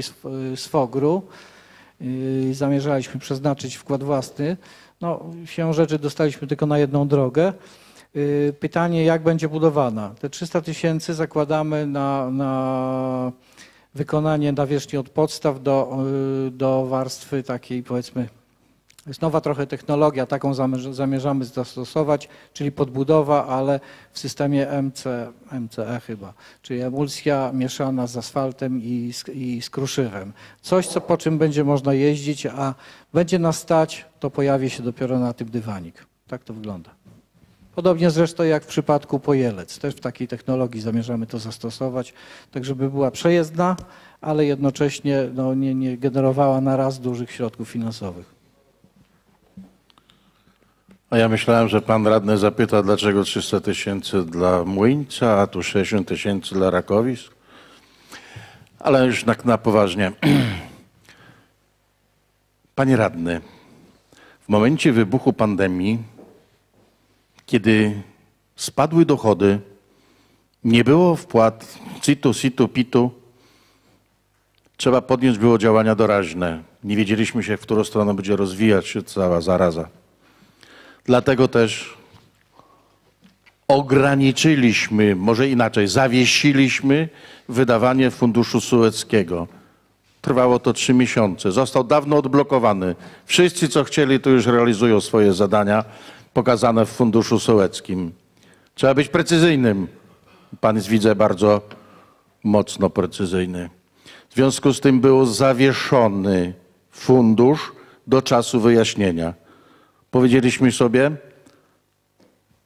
spadły rzeczywiście dochody, o 400 tysięcy w tamtym okresie, kiedy podejmowaliśmy tę decyzję, ale teraz, już po pół roku, widzimy, że możemy odblokować. Fundusz poszedł, nie ma tematu. Drugi, oświetlenie uliczne. Zwykła gospodarność. U nas oświetlenie uliczne jest do 22, od zmierzchu do 22. W okresie letnim jeszcze o 9 jest widno. Jest sens trzymać to oświetlenie? Podejście gospodarskie. Tym bardziej, że od września wracamy znowu z oświetleniem. Ja nie wiem, po to, żeby zabłysnąć? Temat trzeci.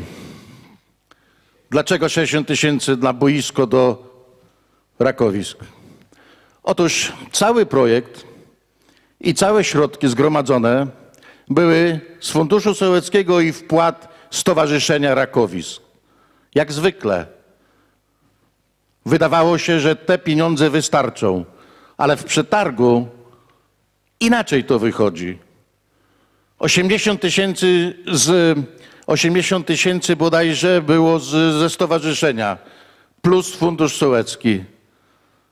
I żeby zrealizować zadanie, trzeba było dołożyć, pomóc, pomóc dołożyć dla Rakowisk. I taką decyzję żeśmy podjęli i występujemy dzisiaj na e, forum Rady, na sesję, żeby mm, te wszystkie zmiany y, zaakceptować. Bardzo bym prosił Państwa, zostawcie te rakowiska w spokoju. Dopowiem jeszcze do tego punktu, że do Stowarzyszenia Rozwoju Rakowisk pani dyrektor przedszkola zwróciła się pismem, jakoby umożliwić dzieciom z przedszkola korzystanie z tego boiska, jeżeli zostanie już zakończone. Podjęliśmy taką uchwałę, że w godzinach pracy przedszkola nasze dzieci są w szkole, nie muszą tam przebywać i tylko wyłączność mają dzieci z przedszkola w tym miejscu, jeżeli to zostanie ukończone. A myślę, że w tym roku to się uda ukończyć. Dziękuję. Proszę bardzo. Ja tylko jeszcze pana wójta, to ja zapraszam serdecznie o godzinie 21.30 przejechać się drogą e, z Białej przez Czosnów. Także pan wójt od razu zobaczy jak to wygląda, że wcale nie jest tak jasno. Proszę bardzo.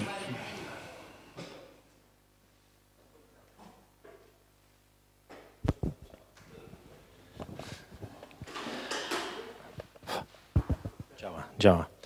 A ja trochę z zaskoczeniem, bo nie. W naszej pięknej gminie mieszkają wspaniali ludzie. I ja dzisiaj cieszę się, że droga w y, Młyńcu powstanie, że powstanie wodociąg y, w Wólce Plebańskiej, że dołożymy się tutaj do boiska, bo w tych wszystkich miejscowościach mieszkają tacy sami wspaniali ludzie. To jest jedna rzecz. Y, Z tym, że taka prośba, bo y, dlatego mówię o tym Młyńcu, bo Młyniec jest jednym z tych mniej doinwestowanych okręgów. Ja bym chciał, żeby zwrócić w przyszłości uwagę na to, żeby rzeczywiście gdzieś tam y, pomyśleć o tych okręgach, które są mniej doinwestowane, żeby nie zapominać o tych ludziach. To tylko w kwestii tej, tej. I zachęcam gorąco radnych do poparcia tych zmian. Dziękuję. Czy jeszcze jakieś pytania?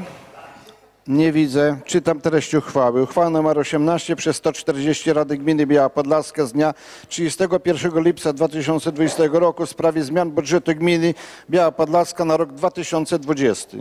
Rada Gminy uchwala co następuje. Treść każdy przed sobą ma. Paragraf drugi. Wykonanie uchwały bierze się wójtowi gminy Biała Podlaska. Paragraf trzeci. Uchwała wchodzi w życie z dniem podjęcia. Kto jest koleżanek i kolegów radnych za przyjęciem tej uchwały? Proszę o naciśnięcie przycisku.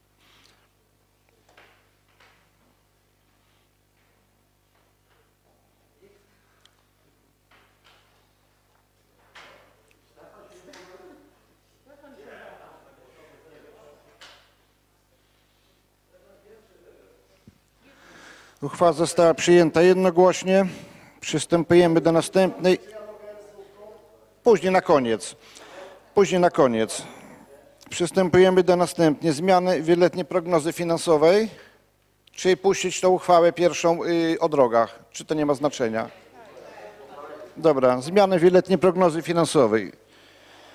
Skarbnik przedstawi. Zmiany, wielo, zmiany wieloletniej prognozy finansowej są konsekwencją zmian w budżecie i y, w wieloletniej prognozie finansowej również usunięte jest to przedsięwzięcie, o którym mówiłem, które było realizowane we współpracy z Gminą Miejską. Dziękuję. Czytam treść uchwały. Uchwała nr 18 przez 141 Rady Gminy Biała Podlaska z dnia 1 lipca 2020 roku w sprawie zmiany wieloletniej prognozy finansowej. Rada Gminy Biała Podlaska uchwala co następuje. Treść każdy przed sobą ma. Paragraf drugi. Wykonanie uchwały bierze się wójtowi gminy Biała Podlaska. Paragraf trzeci. Uchwała wchodzi w życie z dniem podjęcia. Kto jest z koleżanek i kolegów radnych za przyjęciem tej uchwały? Proszę o naciśnięcie przycisku.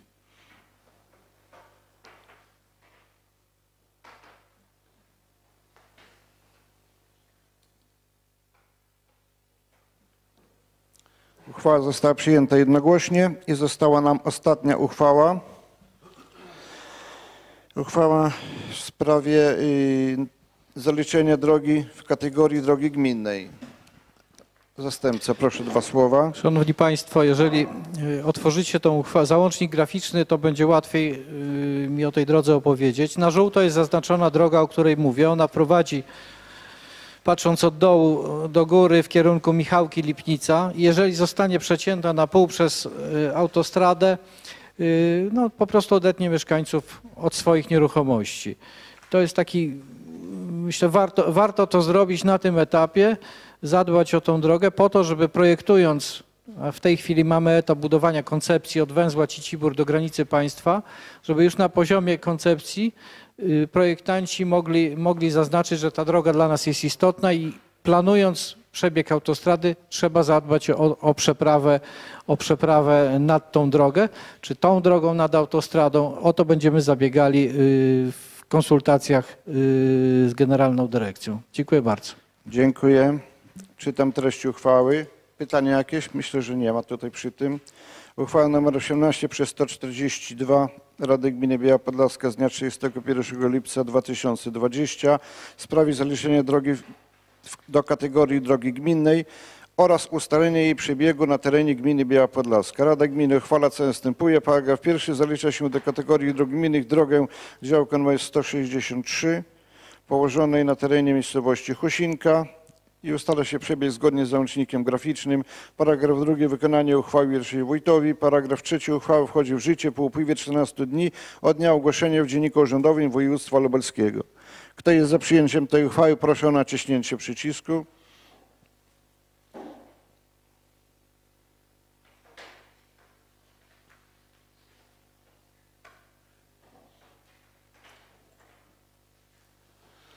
Uchwała została przyjęta jednogłośnie.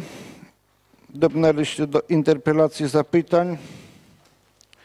Tutaj chcę od razu odpowiedzieć koledze, y, koledze, y, koledze y, na pytanie odpowiedzi przewodniczącego. Po prostu do tej pory nie było zgłoszonego takiego wniosku. Jeżeli jest wniosek zgłoszony, od przyszłej sesji będziemy, będziemy przygotowywać, tyle że to się tylko w czasie odciągnie i tyle dłużej. Y, Kolega Stefan miał pierwszy.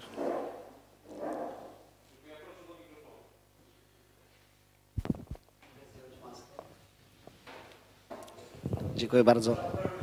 Słyszeć mnie? Słychać? E, Słychać czy nie słychać? Słychać? Dobrze.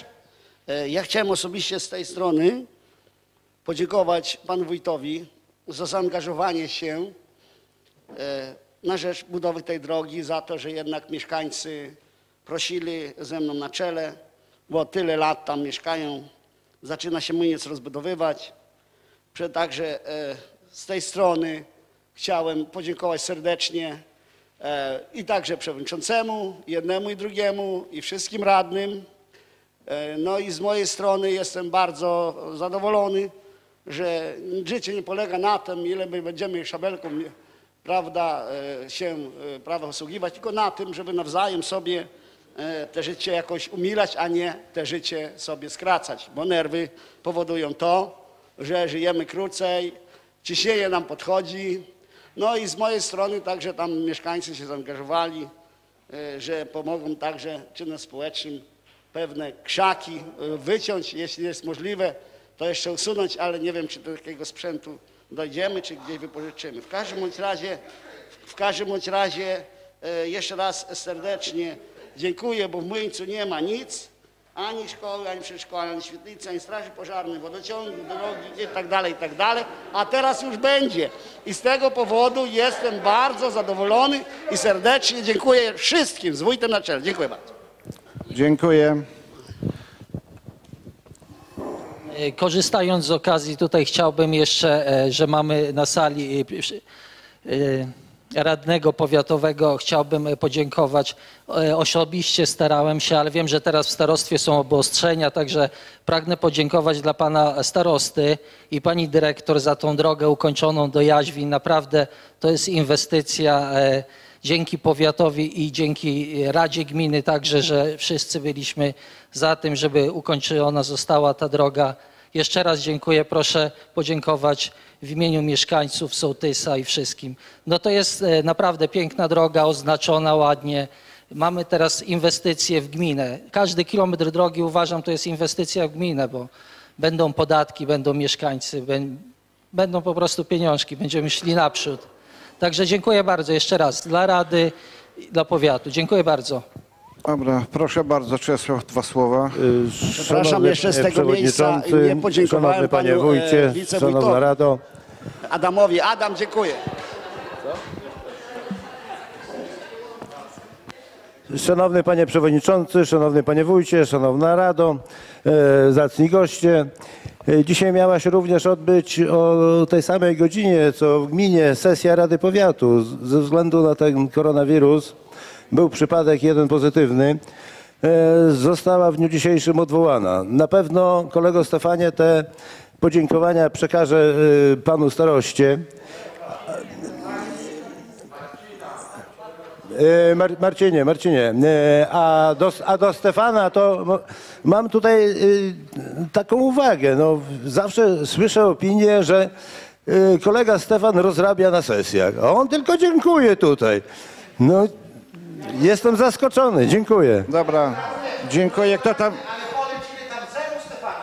Kto tam jeszcze? Mariusz chciał dwa słowa, tak? Jeszcze ubiegnę Mariusza, bo mi pozwolił. Takie pytanie i prośba do e, pana przewodniczącego, żebyśmy może starali się na przyszłość tak organizować Radę Sesji, żebyśmy nie zbiegały się w czasie z Radą Powiatu, bo czasami radni chcą pójść na Radę Powiatu, a ostatnich parę kolejnych e, sesji Rady Gminy zbiegły się z Radą Powiatu. Zupełnie przypadkowo dzisiaj się nie odbyła Rada Powiatu, to dobrze, bo wiem, że jacyś radni chcieli się też zjawić, ale miałbym prośbę, można by to uwzględnić po prostu w planach na przyszłość, żeby jednak nie były te same terminy.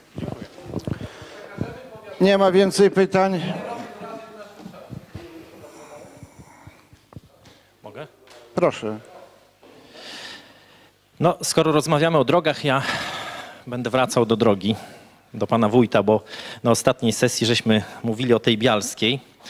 Natomiast do czego, dlaczego znowu wracam? Dlatego, że y, ja muszę wiedzieć, gdzie ja mam zabiegać o tą o budowę tej drogi w końcu. Czy mamy zaczynać od gminy naszej, czy od Rady Powiatu. Y, Mówię o tym dlatego, że y, pan starosta wyraźnie mi napisał mm, w piśmie, na które, y, w którym zadawałem pytanie mu o tą drogę, że do wprowadzenia konkretnego zadania do planu niezbędna jest deklaracja wójta gminy o, partypy, o partycypacjach w kosztach. Ja wiem, że to jest kwota 75%. I teraz z tego y, tytułu powstaje pytanie, bo też mam tą deklarację, kiedy pan wójt z panem starostą y, wyraźnie mm, pisali, że w tej kadencji będzie rozpoczęta budowa, y, procedura budowy chodnika przy ulicy Bialskiej. I teraz pytanie, bo wiem też, że na ostatniej sesji Rady Powiatu Tomek Bylina już, mm, radny Tomek Bylina już rzucił propozycję, żeby w ogóle sama, y, sam powiat się zajął tą drogą. Więc jeżeli ja będę miał deklarację pana wójta, nie, nie dokładam się, w takim razie ja idę do powiatu. Albo tak, dokładam się, wywiążę się ze danego słowa w tej kadencji. Muszę tą odpowiedź uzyskać od pana wójta, dlatego że jeżeli tej odpowiedzi nie będę miał, to na pewno pojawi się u pana wójta deklaracja, y, delegacja mieszkańców i to oni, mi, oni mnie zobligowali do tego, żeby y, to panu wójtowi powiedzieć, bo powiem szczerze, że dzisiaj się wybierali. Ja powiedziałem, poczekajcie, niech właśnie, tym bardziej mówię, że COVID, że i tak nie wejdziecie na salę, więc mam nadzieję, że pan wójt się odniesie do tego tematu. Gdzie mam zabiegać y, o to, o, w tej kwestii?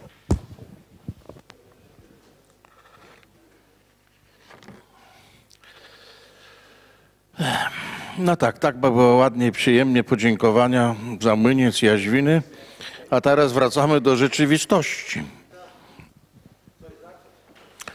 E, Panie radny, mówimy tutaj o Czosnówce i drodze powiatowej i nie mówimy o budowie drogi, tylko o budowie chodnika. Słyszałem nawet już o pomysłach chodnika ze ścieżką rowerową. Miasto doprowadziło tą do Sidorek już coś tam, z tą ścieżką i teraz jest cały czas atak na gminę, że nie ma chodnika i to jest wina tego wrednego wójta. Nie chce dać pieniędzy. Sprawa jest inna troszeczkę, ponieważ mamy porozumienie ze starostą, gdzie przy drogach 50 do 50, złotówka do złotówki i powstają piękne inwestycje ku zadowoleniu wszystkich. Natomiast przy chodnikach jest tak pomyślane, tak skonstruowane, że eh, narzucone przy chodniku 75% kosztów na gminę, 25% koszty powiatu. Prawdą jest też, że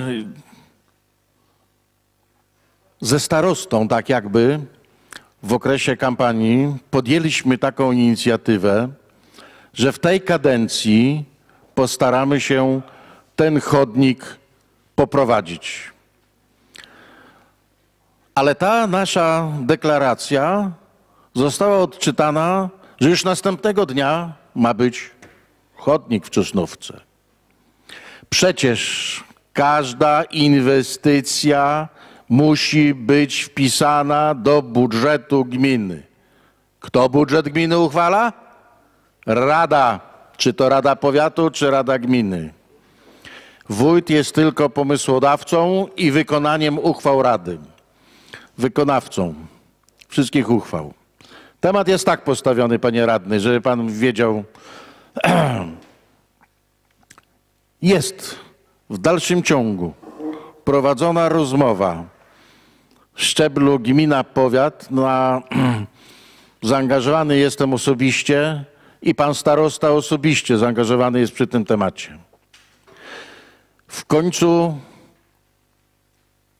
dopracowaliśmy się jednego stanowiska, jednoznacznego, że to zadanie musi być wpisane w budżet powiatu. Dopiero wówczas gmina może dołożyć. Uzgodniliśmy z panem starostą, że do budżetu powiatu będzie wprowadzona inwestycja chodnik, pójdzie nasza, jako z naszej gminy dotacja i wspólnie będziemy ten chodnik budować. Najbardziej mnie denerwuje to, ten hejt w, tych, tych, tych, e, na Facebooku i innych stronach internetowych, że to oto ta wredna gmina i wójt na czosnówkę patrzy złym okiem. No nie mogę tego ścierpieć, no. Nie mogę. Wygląda na to, że ja jestem tutaj jak Putin, co powiem, to jest ważne. A przecież ja tylko mogę pro proponować, a idzie to wszystko przez Radę.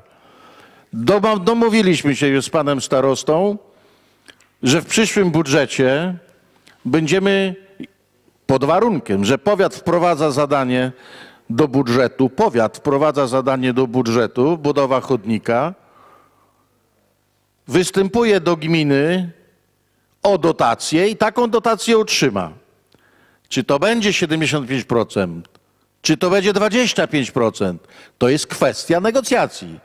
Nie tego sztywnego porozumienia, nie sztywnego porozumienia, co pisze, że gmina musi, gmina może. Myślę, że temat będzie, yy,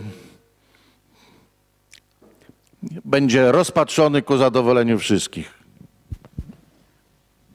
Mogę jeszcze? Ostatnie zdanie. Proszę bardzo. Rozpatrzony w tej kadencji. Ja tylko, panie wójcie, niech pan się nie denerwuje, bo ja tylko tutaj się odnoszę do tego, co pan napisał. To nie jest tak, że ja się odnoszę tam, a tu pan napisał, że będzie rozpoczęta procedura, dlatego ja się pytam. To nie o to chodzi, że e, ja, ja wiem, że to musi zatwierdzić Rada Gminy, Rada Powiatu i tak dalej, ale to pan napisał łącznie ze starostwą, ze starostą, więc dlatego pytam. I okej, jeżeli jest taka deklaracja, bo tak jak tu jest napisane, w najbliższej kadencji rozpoczniemy procedurę budowy chodnika przy drodze powiatowej prowadzącej przez Czosnówkę i tyle. Jeżeli jest taka deklaracja, mi nie chodzi o czas, czy jutro, nie, może to być nawet w ostatniej chwili, ale w tej kadencji. Dziękuję. Wszystko.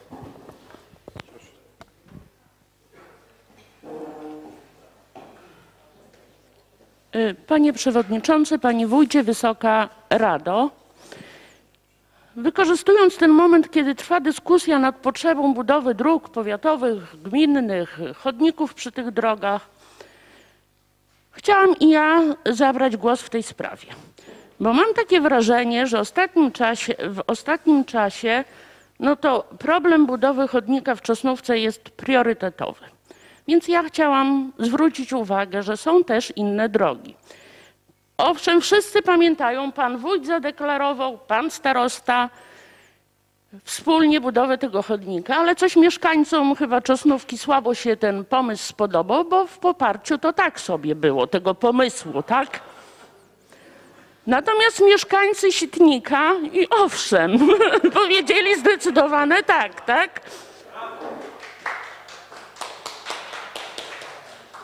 Jak sobie pan wójt i część radnych przypomni, od początku, kiedy jestem radną, zabiegam o budowę chodnika wzdłuż drogi powiatowej przez miejscowość Sitnik i Łukowce. Tam mamy szkołę. No, no, Nie neguję potrzeby budowy żadnego chodnika ani kawałka drogi, bo w tym zakresie mamy tak wiele jeszcze potrzeb. I tak naprawdę dla mieszkańców to nie ma znaczenia, czy ta droga ma kategorię drogi gminnej, czy drogi powiatowej. Po prostu chcą mieć dojazd i bezpieczne dojście do szkoły, do kościoła, czy jakiekolwiek poruszanie się wzdłuż tej drogi. No, powiem tak, chcę wykorzystać tę okazję, żeby też zabrać głos w sprawie. Jeżeli takie rozmowy będą, bo one są potrzebne i mimo, że jakichś tam ostatnio zgrzytów i, i jakiegoś podważania dobrej współpracy z powiatem, uważam, że ta współpra współpraca jest dobra Rady Gminy i, i, i Powiatu i ona powinna być dalej dobra, bo służy mieszkańcom, bo tylko z dobrej współpracy mogą narodzić się dobre rzeczy i potrzebne ludziom, po prostu ludziom, niezależnie od tych kategorii dróg i kategorii ludzi, bo jest tylko jedna według mnie. Nie ma lepszych i gorszych. Także no cóż, panie wójcie, przed tym budowaniem y, budżetów na przyszły rok, no też się przypominam z tą drogą wielokrotnie pisaną przez Sitnik, Łukowce, też droga bardzo mocno uczęszczana i bardzo potrzebny ten chodnik. Ja już kiedyś panu wójtowi to tylko tak prywatnie powiedziałam, że jeżeli ja nie doczekam tego chodnika, to przynajmniej w testamencie go zostawię jako obowiązek do spełnienia. Dziękuję bardzo. W sprawie tego chodnika na ostatniej sesji też był poruszany chodnik. Powiedziałem wtedy do kolegi y, Mariusza, że trzeba rozpocząć od powiatu. To padły tylko moje słowa, prawda? Jeszcze się sesja powiatowa nie zaczęła, jak staje radny powiatowy na sesji powiatu i mówi, jaki wredny ten przewodniczący Rady Gminy, który mówi, że jest tak wredna współpraca ze starostą. Mnie to tak zabolało. Dzwonię, wyjaśnić sprawę, no ale gdzie? Przecież on telefonu nie odbierze teraz, no bo po co? Bo to jest radny powiatowy. Ja dziękuję pani przewodniczącej za zabranie głosu i zwrócenie uwagi na to, że, e, że oprócz Czosnówki są inne miejscowości czekające na budowę chodnika. E, Chcę tylko e, powiedzieć, że właśnie dzięki dobremu, dobrej współpracy z powiatem, z panem starostą, e, w Sitniku już jest kawałek drogi pobudowany, nowy asfalt położony, nowy dywanik. E, I w tym i w tym momencie jest kolejny odcinek drogi planowanej w Łukowcach, także już w lakierkach pani przewodnicząca będzie mogła chodzić, dopóki, dopóki nie będzie tego chodnika. A ja mam teraz taką prośbę, bo z mm, naszej dyskusji przysłuchuje się pan radny powiatowy i mam prośbę do radnego powiatowego, taką prośbę.